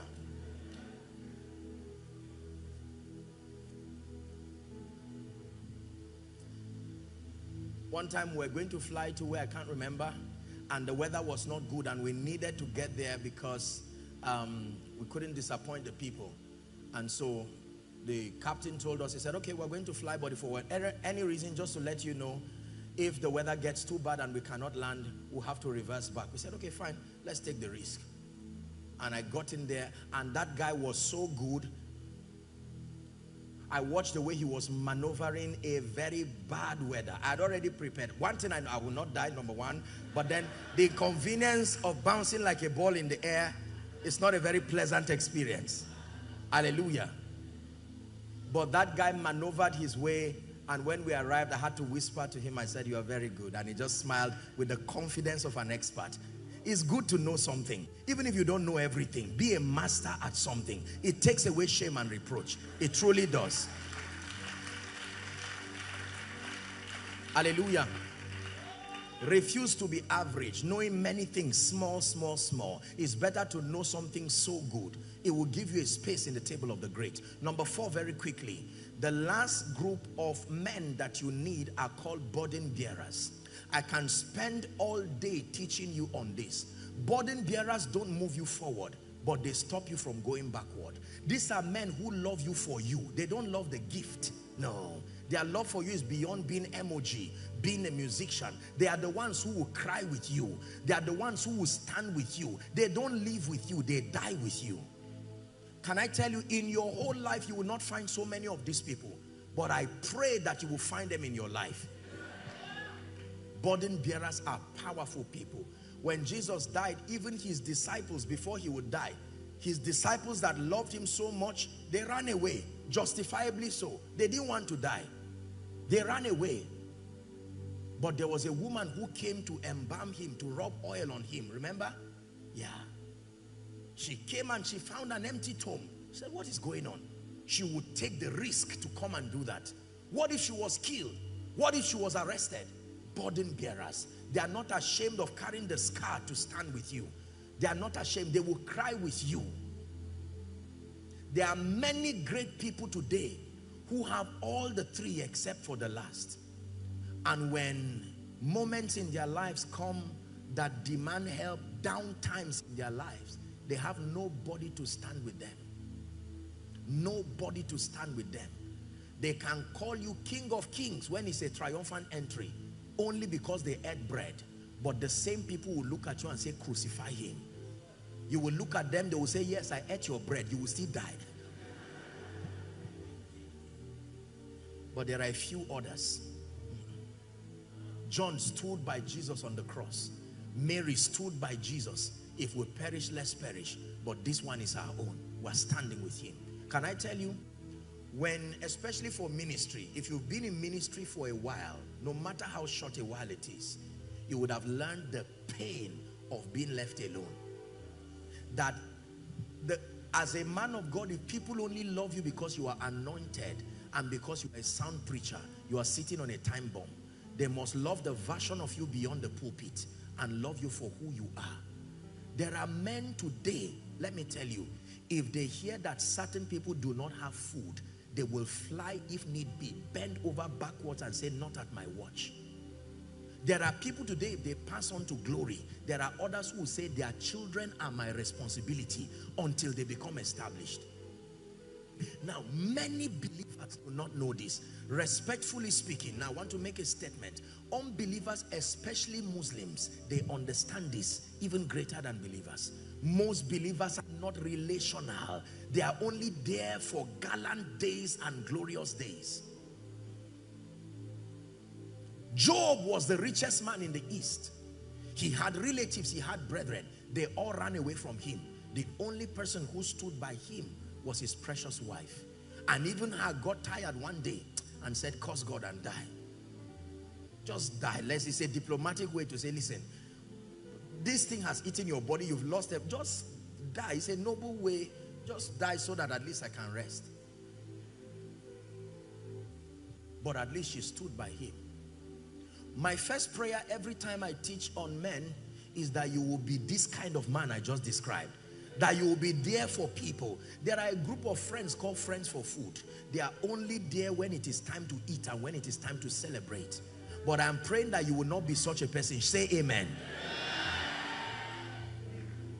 There has to be somebody in your life that you love beyond the glitz and the glamour. People who can count on you. That if anybody leaves me crying, not this brother, not this pastor. There are pastors who have had financial issues and everybody they had helped and built and labored or just waved them goodbye and say, oh, I bid you good speed, be warm. May God, who you have always preached about, come and rescue you. And while the man is there with the wife and the children in pain, crying, and in the midst of all that betrayal and confusion, here comes sincere people who will tell you, I am here. I never left. Why do we love the Holy Spirit so much? Because among so many things, he's the friend that sticketh closer than a brother. He's called the comforter. Hallelujah. You may have heard it in my teachings. One of my life's goal aside being a preacher is that God will grant me the grace and the heart to be there for people at the moments when nobody else is there. It is a very noble honor to be part of people's tears, to be part of people's pain.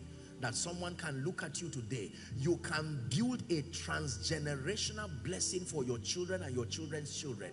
Someone will look at you and say, I will, I don't know you. You are a stubborn boy, but your father did something in 1980 that will not make me forget you that man when I was crying before I became a permanent secretary or be before I became a man of God I was hungry and your father kept feeding me every month. I lost my job for three years and your father took 20% of his salary and was giving me every day. And I covenanted that I would look for his children and children's children. And even though I don't like you as a person but your father's kindness to me is there any man in the house of Saul that I may show kindness for Jonathan's sake?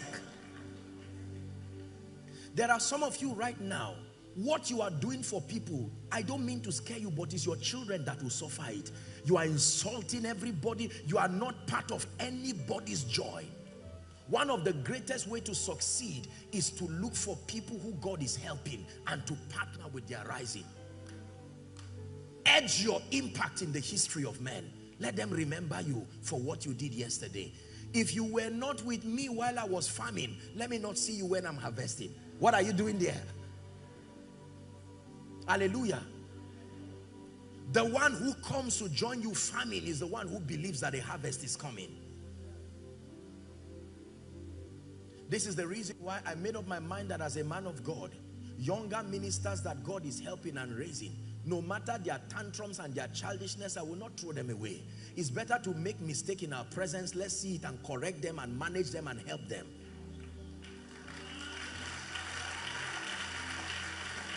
Hallelujah. Because you throw them away based on the law of seasons, whether you like it or not, according to the time of life, one day there will be a decline. And the person who you said will not rise, when he now finally rises, he will rub it on your face and you will spend the remaining part of your life learning a painful lesson. Learn this. It is better to keep quiet than to look at people and tell them you are a failure. You may bite your finger in pain and regret. There are many people today who cannot rise and cannot remain because they pointed fingers at Jesus when they saw him in a manger and said, no, this cannot be Savior. Joseph had a dream he saw the sun, moon, 11 stars bowing to him. And when he saw that, he told his brothers and the brothers said, you must be stupid, we'll kill you. We're not going to bow to you. Fast forward a few years later, here he comes, the prime minister of Egypt. They did not even know their brother again. And they came to bow. And he looked at them, he said, brothers, come and sit at table. It is the same me. They were afraid because they thought they were going to die. He said, no, you meant it for evil. But within your evil, there was God's prophecy and God's plan. Hallelujah. You can't be there for everybody, but be there for somebody. Did you hear what I said? You can't be there for everybody. No. I would learn this lesson painfully by looking in a Catholic building and seeing a crucifix there. And it occurred to me for the first time that it was not my face that was there. You can't be there for everybody. Because there are people who can blackmail men of God and say, you were not there for me. No. We didn't die for your sins. We are witnesses pointing you to the one who died for your sins. Hallelujah. There are people who go around and sleep and then when they wake up, they stretch themselves and start ringing your number by 2 a.m., 3 a.m. and say, you promised to be there for us. And sometimes you can feel guilty and blackmailed as a man of God and say, okay, let me pick the call. No. If it's an emergency, go to the police station. I will help you. I love you. I will give my best, but you're not going to blackmail me emotionally. No. Jesus died. You can approach him directly. There is a new and living way. We are witnesses. So I'm not teaching you to just kill yourself. There are people who have run themselves to death. There are people who have gotten into all kinds of pain and problem simply because they want a reputation that is, is that, that reputation of acceptance by everybody. No, that's not what I'm teaching you. But by all means, please be there for somebody. Be there for somebody. That someone may mean mama at home. That someone may mean your father at home. That someone may mean your brethren, your brothers that someone may mean, oh, apostle, but do you know I'm a millionaire? Your millions does not count until we can trace how it made someone's life better. Hallelujah. My God. Can I give you the last one? Listen, listen, listen. Do you know that all we have been saying was point 0.5? Okay, so number six now. Let me let me leave five. We've done We've done justice on five. You don't tell me thank you by saying thank you. Become a living epistle of this thing we're teaching. That is the greatest way to tell a man of God thank you. That hopefully by God's grace next year by this time, your life becomes so accelerated. You are so empowered and you can say, thank God for the truths that I heard. That is the greatest way to tell a man of God thank you. But you see, most people who jump and shout in church are usually the ones who will not practice one of these kinds of things. Because the energy it takes to listen sometimes we get very emotional and then we don't listen and at the end of it what did you gain say wow it was just a powerful service i hope you are not like that number six number six i like ghana Hallelujah. Thank you. By the way, you have to teach me Ghana. You have to teach me. I, I know only two words. I know Akwaaba. And then I know Medaase. So I'm ready. I'm ready for the next lecture. So somebody, I, I need somebody. Some, you, somebody has got to teach me something. Hallelujah. Okay, number six. Number six. Let's get to number six. What is the sixth level of light you must encounter? Maybe I'll just touch on that and then we'll come back in the evening and then we'll do justice. Um, I want to take the time to minister to people tonight. And so we'll be praying, be speaking over your life, and we'll be imparting very mighty graces upon our lives tonight. Hallelujah. Right. You must know your adversary, the devil the sixth level of light and knowledge you need to walk in dominion and to be empowered is that you must know your adversary, the devil. In all your knowledge, if you are ignorant of Satan nor the satanic kingdom, you will not excel. That is the truth. You must know your adversary, the devil. John chapter 10 and verse 10. John 10, 10. The Bible says, the thief cometh not, but for to steal, to kill and to destroy. A spirit that is characterized by these tripartite disasters is worth your knowledge. That anytime you see Satan, you know his signature by stealing, killing, and destruction.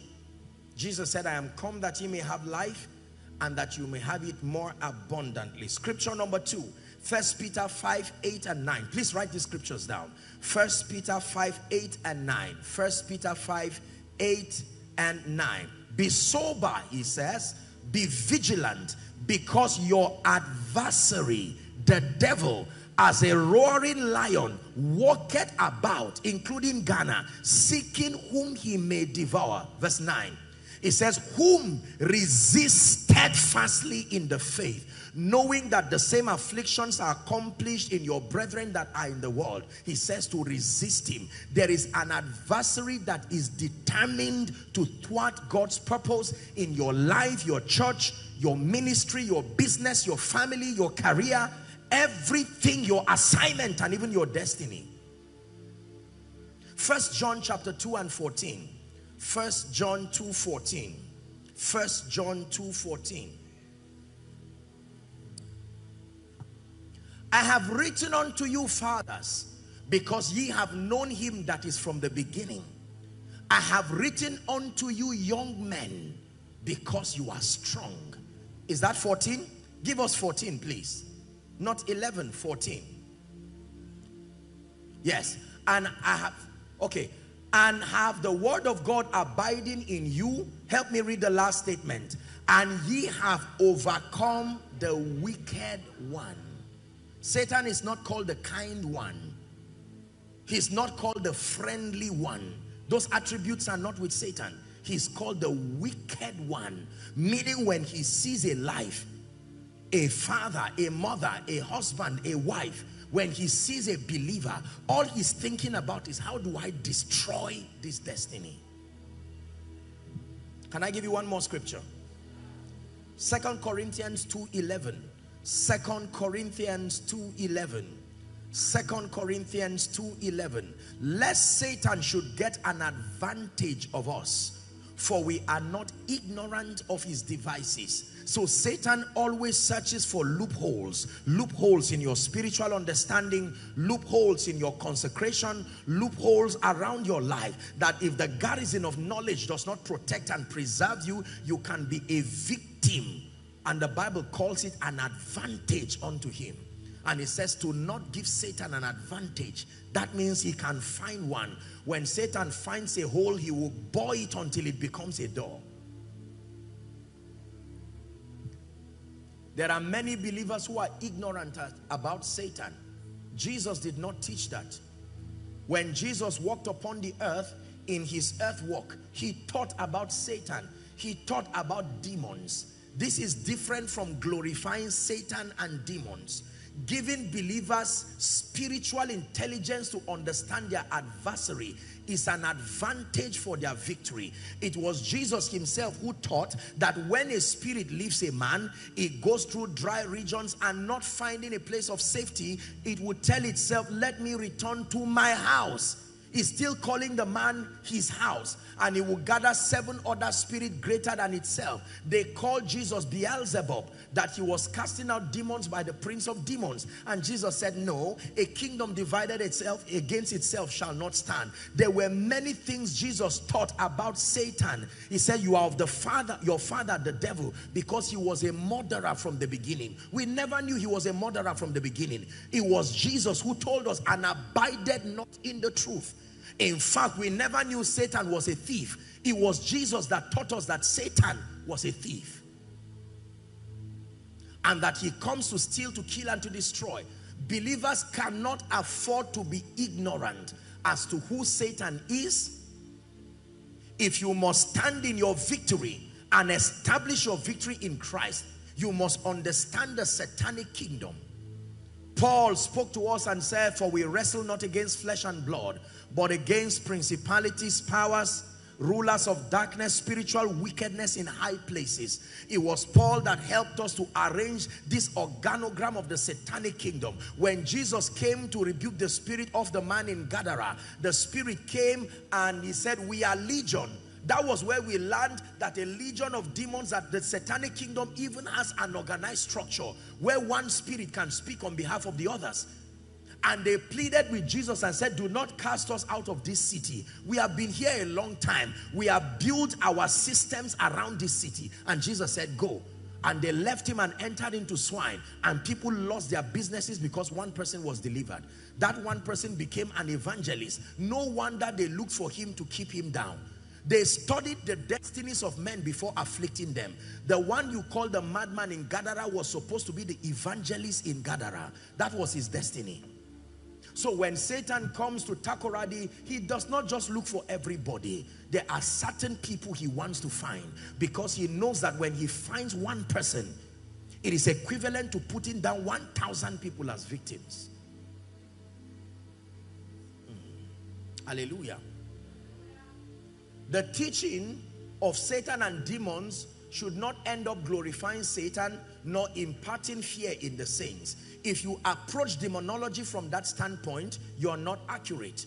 So sometimes um, and, and we preachers sometimes can be victims of this. We end up painting a picture that makes Satan look so invincible. We give such a, a, a, an impression of intelligence and you know so many things. At the end of it, it's almost as if you want to be converted to now worship him because you are saying, a man who is this wise and powerful, what am I still doing here?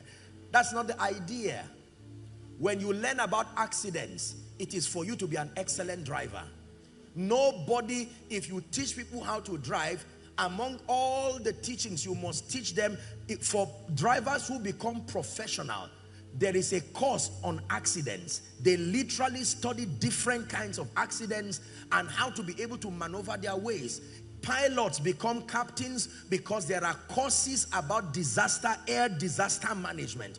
You are not teaching the pilot because you want him to die, but it is that knowledge that makes him a professional pilot. Are we together now? So we must approach the subject of demonology, deliverance, and the, the dark kingdom from a standpoint of an overall spirit, spiritual orientation that is supposed to empower the saints holistically. Don't just isolate Satan and give him an unusual credence and an unusual, at the end of it, believers are shaking, they're shivering in fear. And then sometimes we find pride that we've created a lot of mysticism and we've imparted fear. That's not Jesus's approach. He taught on Satan, but then they could stand tall in the victory. The Bible says, now thanks be to God, which causeth us always to triumph. Are we learning? But then to just throw it away and say, don't tell me about Satan. All I want to know is about Jesus. Ladies and gentlemen, it's like saying, don't tell me about brakes. I don't need brakes, not hand brakes, not even the one. Just, just show me how to accelerate. Sooner or later,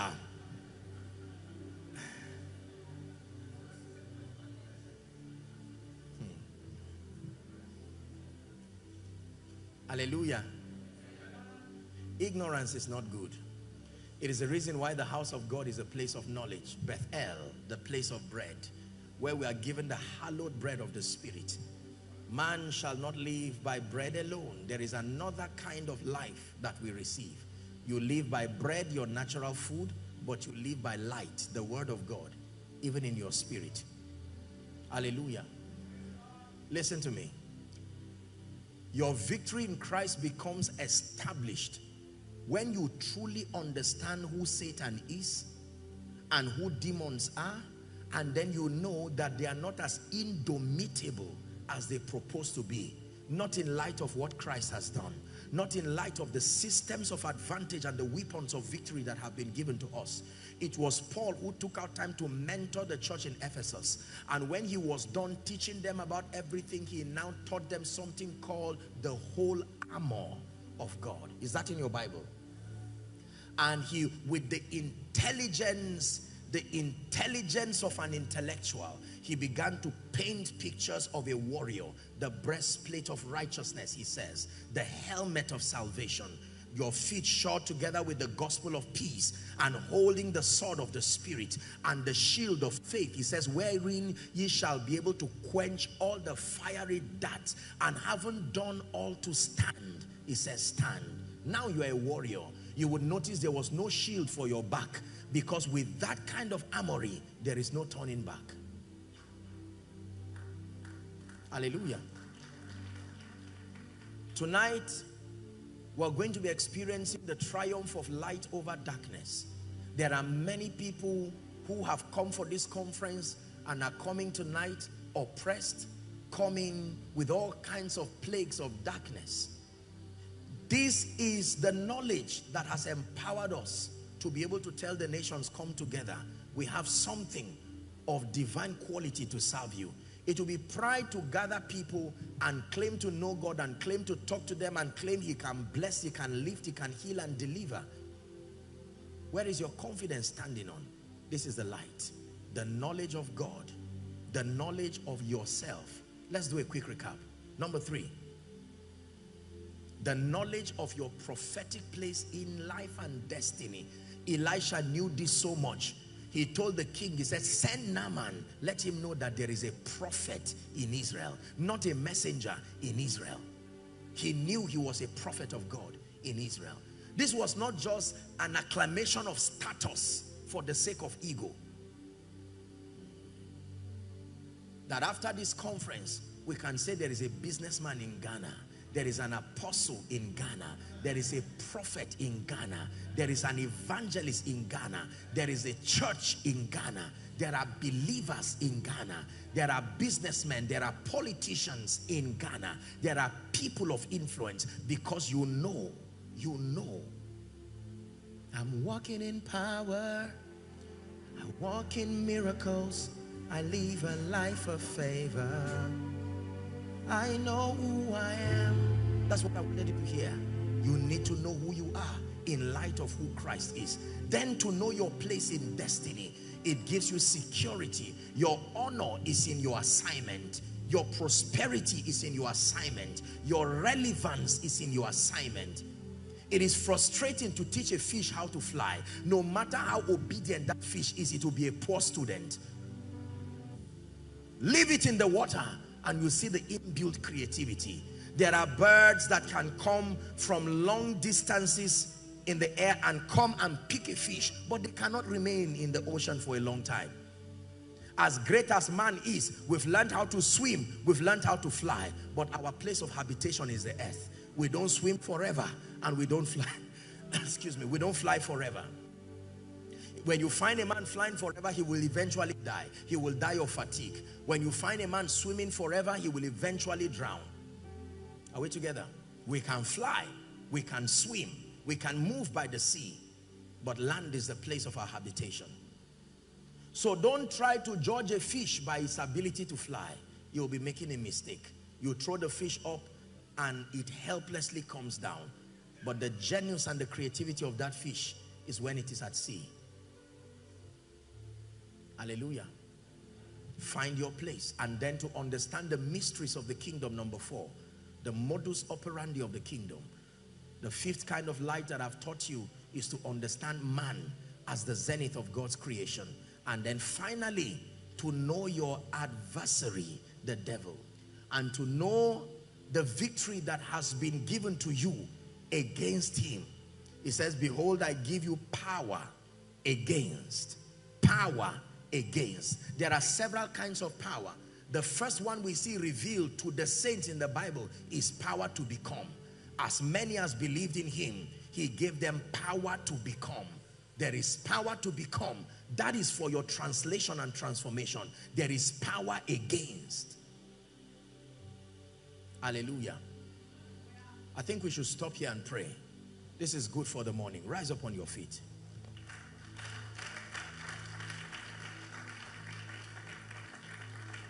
Hold hands with someone by your left and right if you can. I want us to pray together. Hold hands with someone by your left and right. In the next one minute, I want us to pray in the spirit together as a family of faith, holding hands together, and you are praying in the spirit, and then I'll give you two prayer points, and we're done for the morning. Go ahead and pray. You don't need to know the person whose hand you are holding. All you need to know is that he loves Jesus and he came for this international prophetic gathering to rise, to become great, to excel, to manifest as a witness and as an ambassador. Go ahead and pray.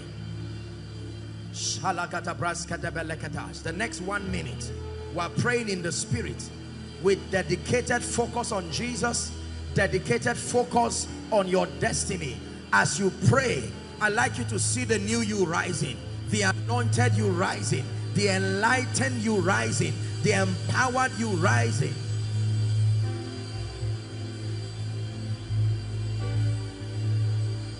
Shabaka paruska fereketo. Sasha balashka balaka. Legrakata parakata fresca de belenda bas sobrosko do balakata.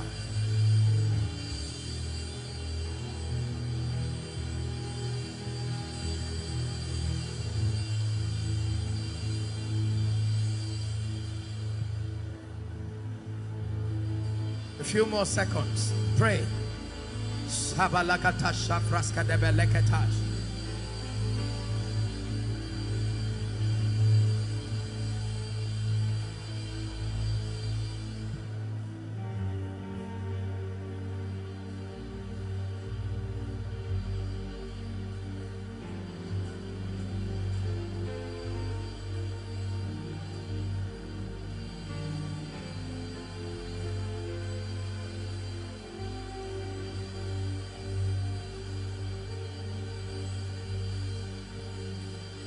Your spirit I will rise from the ashes of defeat.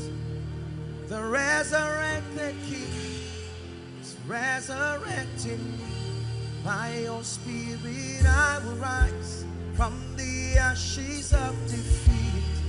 The resurrected King is resurrecting me. The resurrected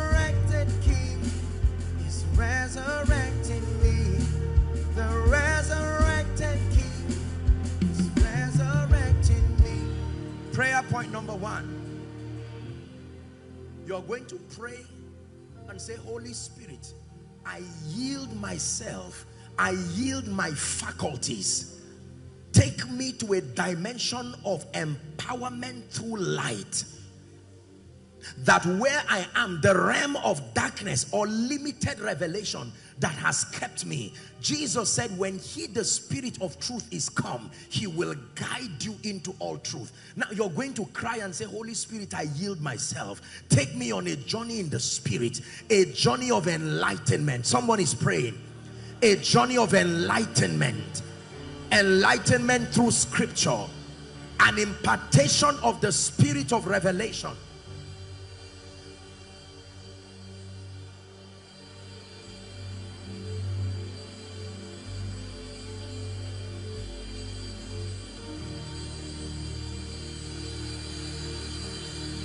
Take me on a journey, Spirit of the living God.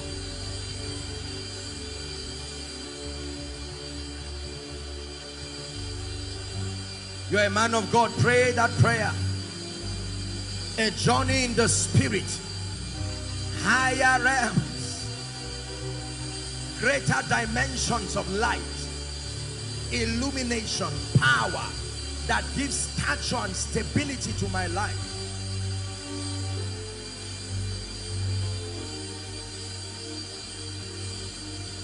Shabalakata fraska debeleket. Ha shabara safanda galeka shobraska debelekatos. In Jesus' name. In Jesus' name. Final prayer point. Father, the next level of my prophetic destiny, let it be opened unto me in this conference. Go ahead and pray. The next level. For some of you, you have come to the end of a season. That's why God brought you here. But you must know the next season you are to step in. No assumptions. No assumptions. No assumptions. No assumptions. Is someone praying? Cry to the Lord. Let it be from the depth of your heart. I sense that many people are coming to an end of a very strange season in their life. You must know when seasons come to an end. And you must know when new prophetic horizons are being opened. And of the sons of Issachar, men who had an understanding of the times and they knew what Israel ought to do. The next level of my music ministry, the next level in business, the next level in the church, the ministry, the apostolic and prophetic platform, the prayer group, the next level. Let me not camp around yesterday, whereas the spirit has moved to new heights, new planes in the spirit. Job said there is a path which no fowl has seen. The whelps of the lion has not trodden.